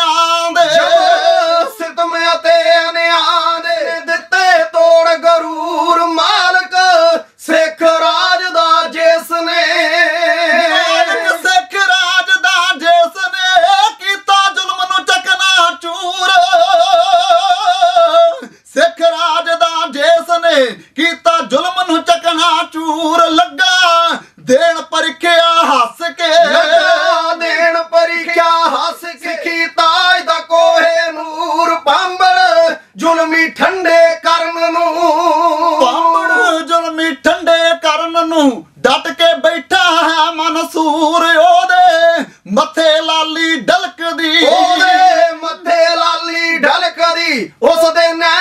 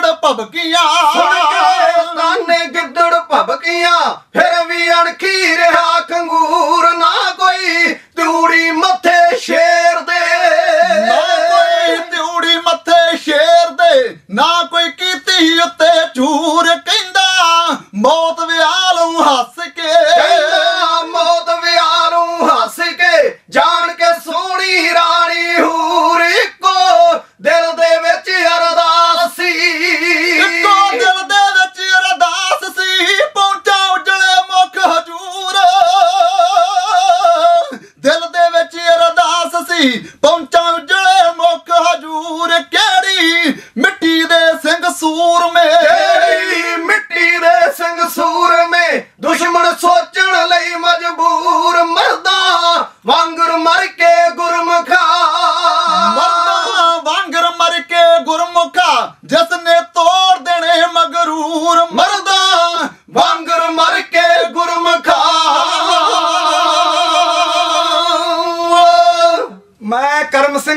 ਢੋਰੀਆਂ ਦੀ ਗੱਲ ਵੀ ਕਰਨੀ ਚਾਹੁੰਦਾ ਹੈ। ਇਹਨੇ ਵੀ ਬੜੇ ਇਲਜ਼ਾਮ ਬਾਬਾ ਬੰਦਾ ਸਿੰਘ ਤੇ ਲਾਏ। ਅਖੇ ਬਾਬਾ ਬੰਦਾ ਸਿੰਘ ਸਰਹੰਦ ਜੰਗ ਤੋਂ ਬਾਅਦ ਬਾਕੀ ਜੰਗਾਂ ਵਿੱਚ ਸ਼ਾਮਲ ਨਹੀਂ ਹੁੰਦਾ ਰਿਹਾ। ਬਾਕੀ ਦੇ ਸਿੰਘ ਹੀ ਲੜਾਈਆਂ ਲੜਦੇ ਰਹੇ। ਉਹਨੇ ਵਿਆਹ ਕਰਵਾ ਲਿਆ। ਪਹਾੜਾਂ ਵਿੱਚ ਮੌਜਾਂ ਮਾਣਦਾ ਰਿਹਾ। ਤੇ ਕਦੇ ਵੀ ਉਹ ਪੰਜ ਸੱਤ ਸੂਬੇਦਾਰਾਂ ਦੇ ਨਾਲ, ਜਰਨੈਲਾਂ ਦੇ ਨਾਲ ਲੜਨ ਦੀ ਸਮਰੱਥਾ ਨਹੀਂ ਸੀ ਰੱਖਦਾ। ਉਹਦੀ ਪਤਨੀ ਨੇ ਧਰਮ ਛੱਡ ਦਿੱਤਾ। ਮੁਸਲਮਾਨ ਹੋਣਾ ਪ੍ਰਮਾਣ ਕਰ ਲਿਆ। ਇੱਕ ਹੋਰ ਗੱਲ ਕਹੀ ਉਹਨੇ, ਗੁਲਾਬੂ, ਭਾਈ ਗੁਲਾਬ ਸਿੰਘ, ਬਖਸ਼ੀ ਗੁਲਾਬ ਸਿੰਘ। ਉਹਨੂੰ ਗੁਲਾਬੂ ਸ਼ਬਦ ਵਰਤਿਆ ਉਹ ਕਹਿੰਦਾ, ਬਹਾਦਰ ਸ਼ਾਹ ਦੇ ਦਰਬਾਰ ਵਿੱਚ ਤਮਾਕੂ ਵਰਤਦਾ ਹੁੰਦਾ ਸੀ। ਜਦੋਂ ਬੰਦਾ ਬਹਾਦਰ ਲੋਹਗੜ੍ਹ ਤੇ ਕਿਲੇ ਤੋਂ ਨਿਕਲਿਆ, ਬੰਦੇ ਵੱਲ ਚਲਾ ਗਿਆ, ਤੇ ਉਹਦੀ ਪੋਸ਼ਾਕ ਪਾ ਕੇ ਬੰਦਾ ਸਿੰਘ ਦੀ ਵੈਰੂ ਨੂੰ ਇਹਨੇ ਧੋਖਾ ਦਿੱਤਾ। ਉਹ ਐਸਾ ਅਮਰਧਾਰੀ ਗੁਰੂ ਕਾ ਲਾਲ, ਜਿਨੇ ਪੰਜਾਂ ਪਿਆਰਾਂ ਦੇ ਰਾਹੀਂ ਆਪ ਮੌਤ ਪ੍ਰਵਾਨ ਕਰ ਲਈ, ਪਰ ਬਾਬਾ ਬੰਦਾ ਸਿੰਘ ਨੂੰ ਕੱਢਣ ਵਾਸਤੇ ਸਾਰਾ ਟਿਲ ਲਾ ਦਿੱਤਾ। ਉਹਦੇ ਪ੍ਰਤੀ ਐਸੇ ਸ਼ਬਦ ਕਹਿਣੇ, ਗਲਾਬੂ ਕਹਿਣਾ, ਪਹਿਲੀ ਗੱਲ ਤੇ ਇਹ ਪਾਪ ਹੈ, ਸਿੰਘ ਦਾ ਪੂਰਾ ਨਾਂ ਨਾ ਲੈਣਾ। ਦੂਸਰਾ, ਇਹ ਕਹਿਣਾ ਕਿ ਤਮਾਕੂ ਵਰਦਾ ਸੀ। ਫਿਰ ਕਹਿਣਾ ਜੀ, ਉਹ ਦੁਸ਼ਮਣ ਤਾਂ ਬਾਬਾ ਬੰਦਾ ਸਿੰਘ ਦੇ ਕੋਲੋਂ ਕੰਬਦੇ ਹਨ। ਇਹ ਕੋਈ ਹਊਆ ਕੋਈ ਤੂਫਾਨ ਹੈ, ਕੋਈ ਕਰਾਮਾਤ ਹੈ, ਕੋਈ ਜਾਦੂਗਰ ਹੈ। ਦਰਿਆ ਰਾਵੀ ਤੋਂ ਲੈ ਕੇ ਦਿੱਲੀ ਦੀਆਂ ਕੰਧਾਂ ਤੱਕ ਦੁਸ਼ਮਣ ਥਰ-ਥਰ ਕੰਬਦਾ ਹੈ। ਤੇ ਸਾਡਾ ਵਿਦਵਾਨ ਪੰਡਤ ਕਹਿ ਰਿਹਾ, ਉਹਦੇ ਕੋਲ ਤਾਕਤ ਹੀ ਨਹੀਂ ਸੀ, ਉਹ ਪੰਜਾਂ ਸੱਤਾਂ ਦੇ ਨਾਲ, ਜਰਨੈਲਾਂ ਦੇ ਨਾਲ ਲੜ ਸਕੇ। ਫਿਰ ਇਹ ਕਹਿਣਾ ਕਿ ਸਰਹੰਦ ਤੋਂ ਬਾਅਦ ਕਿਸੇ ਜੰਗ ਵਿੱਚ ਉਹ ਨਹੀਂ ਲੜਿਆ। ਉਹ ਕਿਹੜੀ ਜੰਗ ਸੀ ਜਿਸ ਜੰਗ ਵਿੱਚ ਬਾਬਾ ਬੰਦਾ ਸਿੰਘ ਆਪ ਅੱਗੇ ਹੋ ਕੇ ਨਹੀਂ ਲੜਿਆ? ਉਹ ਇੱਕ ਤੂਫਾਨ ਸੀ, ਉਹ ਲੋਹਗੜ੍ਹ ਦੇ ਕਿਲੇ ਤੋਂ ਨਿਕਲ ਕੇ ਬਾਦਸ਼ਾਹ ਜੇ ਪਿੱਛੇ ਆ ਰਿਹਾ ਤੇ ਬਹਿਰਾਮਪੁਰ ਦੀ ਲੜਾਈ ਬਾਬਾ ਬੰਦਾ ਸਿੰਘ ਨੇ ਜਿੱਤ ਲਈ। ਏਡੀਆਂ ਵੱਡੀਆਂ ਕੁਰਬਾਨੀਆਂ ਜਿਹਦਾ ਨਾਂ ਸੁਣ ਕੇ ਦੁਸ਼ਮਣ ਕੰਬਦੇ ਸੀ, ਸਾਡਾ ਆਪਣਾ ਵਿਦਵਾਨ, ਉਹ ਨਾ ਜਾਣਾ ਕਿਉਂ? ਉਹਦੇ ਤੇ ਚਿੱਕੜ ਉਛਾਲ ਰਿਹਾ। ਬੰਦਾ ਸਿੰਘ ਦੀ ਵਾਰੀ ਆਈ, ਜਲਾਦ ਨੂੰ ਹੁਕਮ ਹੋਇਆ, ਪਹਿਲਾ ਵਾਰ ਸੱਜੀ ਅੱਖ ਤੇ ਕਰ ਦਿੱਤਾ ਗਿਆ, ਸੱਜੀ ਅੱਖ ਕੱਢ ਕੇ ਧਰਤੀ ਤੇ ਰੱਖ ਦਿੱਤੀ ਗਈ। ਦੂਜਾ ਵਾਰ ਖੱਬੀ ਅੱਖ ਤੇ ਹੋਇਆ, ਉਹ ਖੱਬੀ ਅੱਖ ਕੱਢ ਕੇ ਵੀ ਧਰਤੀ ਤੇ ਟਿਕਾ ਦਿੱਤੀ ਗਈ। ਖੱਬੇ ਗੋਡੇ ਲਾਗੋਂ ਪੈਰ ਵੱਢ ਦਿੱਤਾ ਗਿਆ, ਸਿੰਘ ਦੇ ਹੱਥ ਜੁੜ ਗਏ, ਬਾਜਾਂ ਵਾਲੇ ਦੇ ਚਰਨਾਂ ਵਿੱਚ ਕਲਗੀਧਰ ਦਾ ਲਾਡਲਾ ਬੇਨਤੀ ਕਰਿਆ ਸੀ, ਬਾਜਾਂ ਵਾਲੇ ਪ੍ਰੀਤਮ, ਮੈਂ ਕੁਝ ਨਹੀਂ ਕੀਤਾ। ਇਹ ਸੇਵਾ ਤੁਸੀਂ ਆਪਣਾ ਦਾ ਜਾਣ ਕੇ ਲਈ ਹੈ। ਮੇਰਾ ਸਿੱਖੀ ਸਿਦਕ ਕੇਸਾਂ ਸਵਾਸਾਂ ਦੇ ਨਾਲ ਨਿਭ ਜਾਵੇ ਸ਼ਹੀਦਾਂ ਦੇ ਸਰਤਾਜ ਸ੍ਰੀ ਗੁਰੂ ਅਰਜਨ ਦੇਵ ਜੀਓ, ਤੁਹਾਡੇ ਚਰਨਾਂ ਵਿੱਚ ਪਹੁੰਚ ਸਕਾਂ। ਜਲਾਦਾਂ ਨੇ ਬਸ ਨਹੀਂ ਕੀਤਾ। ਦੋਵੇਂ ਜੋੜੇ ਹੋਏ ਹੱਥ ਕੱਢ ਦਿੱਤੇ ਗਏ। ਸਾਰਾ ਸਰੀਰ ਸਲਾਖਾਂ ਅੱਗ ਵਿੱਚ ਤਪਾ ਕੇ ਸਰੀਰ ਵਿੱਚ ਖੋ ਦਿੱਤੀਆਂ ਗਈਆਂ। ਸਰੀਰ ਦਾਗੋ ਦਾਗ ਕਰ ਦਿੱਤਾ ਗਿਆ। ਜਮੂਰਾ ਨਾਲ ਮਾਸ ਨੋਚਿਆ ਗਿਆ। ਆਖਿਰਕਾਰ ਜਲਾਦ ਕੋਲੋਂ ਰਿਹਾ ਨਾ ਗਿਆ। ਜਦੋਂ ਬਾਬਾ ਬੰਦਾ ਸਿੰਘ ਦੇ ਸੀਰ ਤੇ ਵਾਰ ਕਰਨ ਲੱਗਾ ਤਲਵਾਰ ਦਾ, ਬਾਬਾ ਬੰਦਾ ਸਿੰਘ ਨੇ ਆਖਿਆ, ਜਲਾਦਾ ਇੱਕ ਮਿੰਟ ਰੁਕ ਜਾ। ਜਦੋਂ ਇਨੀ ਗੱਲ ਕਹੀ ਹੈ, ਖੜਖੜਾ ਕੇ ਹੱਸਿਆ, ਬਾਦਸ਼ਾਹ ਫਰਖੀਰ ਉਹਨੇ ਆਖਾ ਬੰਦਾ ਸਿੰਘਾ, ਹੁਣ ਮੌਤ ਦੇ ਕੋਲੋਂ ਡਰ ਗਿਆ ਤੈਨੂੰ ਮੈਂ ਕਿਹਾ ਸੀ, ਮੌਤ ਬੜੀ ਭਿਆਨਕ ਚੀਜ਼ ਹੈ। ਬਾਬਾ ਬੰਦਾ ਸਿੰਘ ਨੇ ਆਖਾ ਹਾਕਮ, ਅਜੇ ਵੀ ਭੁਲੇਖੇ ਵਿੱਚ ਹੈ। ਮੈਂ ਡਰਿਆ ਨਹੀਂ। ਤੂੰ ਮੈਨੂੰ ਬਾਰ-ਬਾਰ ਕਹਿੰਦਾ ਸੈਂ ਕਿੱਥੇ ਤੇਰਾ ਗੁਰੂ ਗੋਬਿੰਦ ਸਿੰਘ ਹੈ? ਕਿੱਥੇ ਤੇਰੀ ਸਿੱਖੀ ਹੈ? ਤੂੰ ਬਹੁਤ ਕੁਝ ਕਰਕੇ ਵੇਖ ਲਿਆ। ਹੋਰ ਵੀ ਜੋ ਕੁਝ ਕਰਨਾ ਕਰਕੇ ਵੇਖ ਲੈ। ਅੰਗ ਅੰਗ ਕਰ ਦੇ। ਮੇਰੇ ਰੋਮ ਰੋਮ ਵਿੱਚੋਂ ਹੀ ਤੈਨੂੰ ਕਲਗੀਧਰ ਗੁਰੂ ਗੋਬਿੰਦ ਸਿੰਘ ਤੇ ਉਹਦੀ ਸਿੱਖੀ ਹੀ ਨਜ਼ਰ ਆਵੇ। ਦੱਸ ਗਿਆ ਜਾਬਰ ਨੂੰ ਬੰਦਾ। ਕੀ ਹੁੰਦੀ ਹੈ ਸਿੱਖੀ? ਬਾਲੋਂ ਨਿੱਕੀ ਔਖੀ ਘਾਟੀ, ਸਿੱਖੀ ਖੰਡਿਓ ਤਿੱਖੀ। ਉਹ ਪਰਬਤ ਦੇ ਨਾਲ ਮੱਤਾ ਲਾ ਕੇ ਜਾਬਰ ਤਾਈ ਚੁਕਾ ਗਿਆ। ਅੰਗ ਅੰਗ ਕਟਵਾ ਕੇ ਜੋਦਾ ਸਿੱਖੀ ਸਿਦਕ ਨਿਭਾ ਗਿਆ।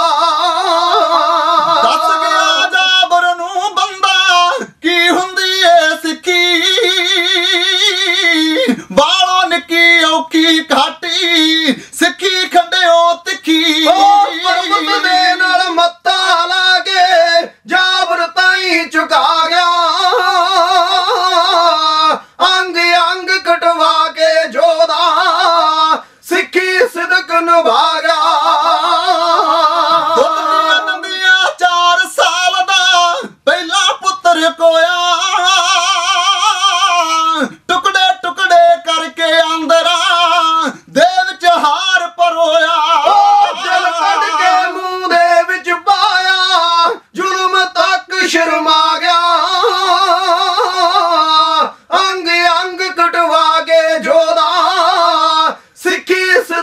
ਸਦਕ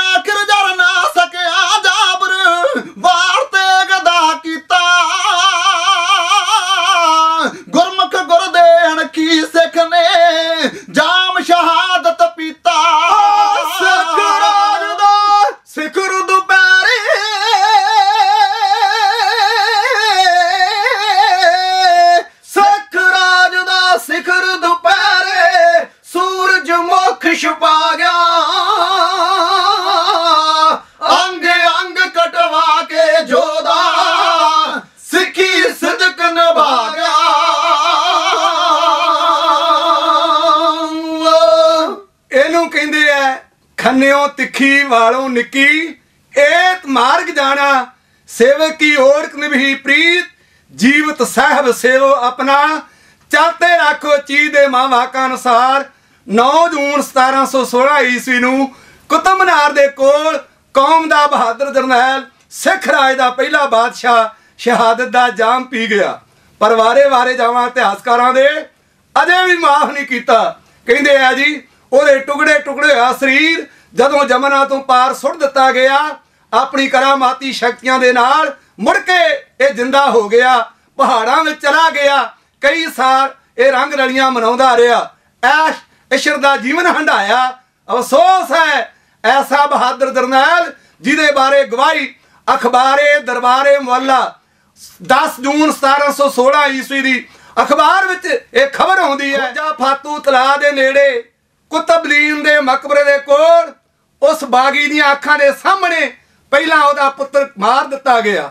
ਫਿਰ ਉਸ ਬਾਗੀ ਨੂੰ ਬੜੇ ਤਸੀਹੇ ਦੇ ਕੇ ਖਤਮ ਕੀਤਾ ਗਿਆ। ਉਹਦੇ ਸਾਰੇ ਅੰਗ ਅੰਗ ਜੁਦਾ ਕੀਤੇ ਗਏ ਔਰ ਉਹਦੇ ਨਾਲ ਦੇ ਸਾਥੀਆਂ ਨੂੰ ਮਾਰ ਦਿੱਤਾ ਗਿਆ। ਜਦੋਂ ਇਹ ਸਰਕਾਰੀ ਰਿਪੋਰਟ ਹੋਵੇ ਤੇ ਸਾਡੇ ਸਿੱਖ ਇਤਿਹਾਸਕਾਰ ਐਸੀਆਂ ਗੱਲਾਂ ਕਰਨ, ਇਹ ਸਾਨੂੰ ਸ਼ਰਮ ਆਉਣੀ ਚਾਹੀਦੀ ਹੈ। ਉਹ ਮਹਾਨ ਜਰਨੈਲ ਪੂਰਨ ਗੁਰਸਿੱਖ ਪੂਰਨ ਨਿਤਨੇਮੀ, ਰਹਿਤ ਮਰਿਆਦਾ ਵਿੱਚ ਪੱਕਾ ਔਰ ਧਰਮ ਦਾ ਹਲਾ ਸੰਸਾਰ ਤੇ ਕਰਨ ਵਾਲਾ ਮੁਸਲਮਾਨਾਂ ਨੂੰ ਵੀ ਧੱਕੇ ਨਾਲ ਨਹੀਂ ਪਿਆਰ ਦੇ ਨਾਲ ਉਹਨੇ ਸਿੰਘ ਸਜਾਇਆ।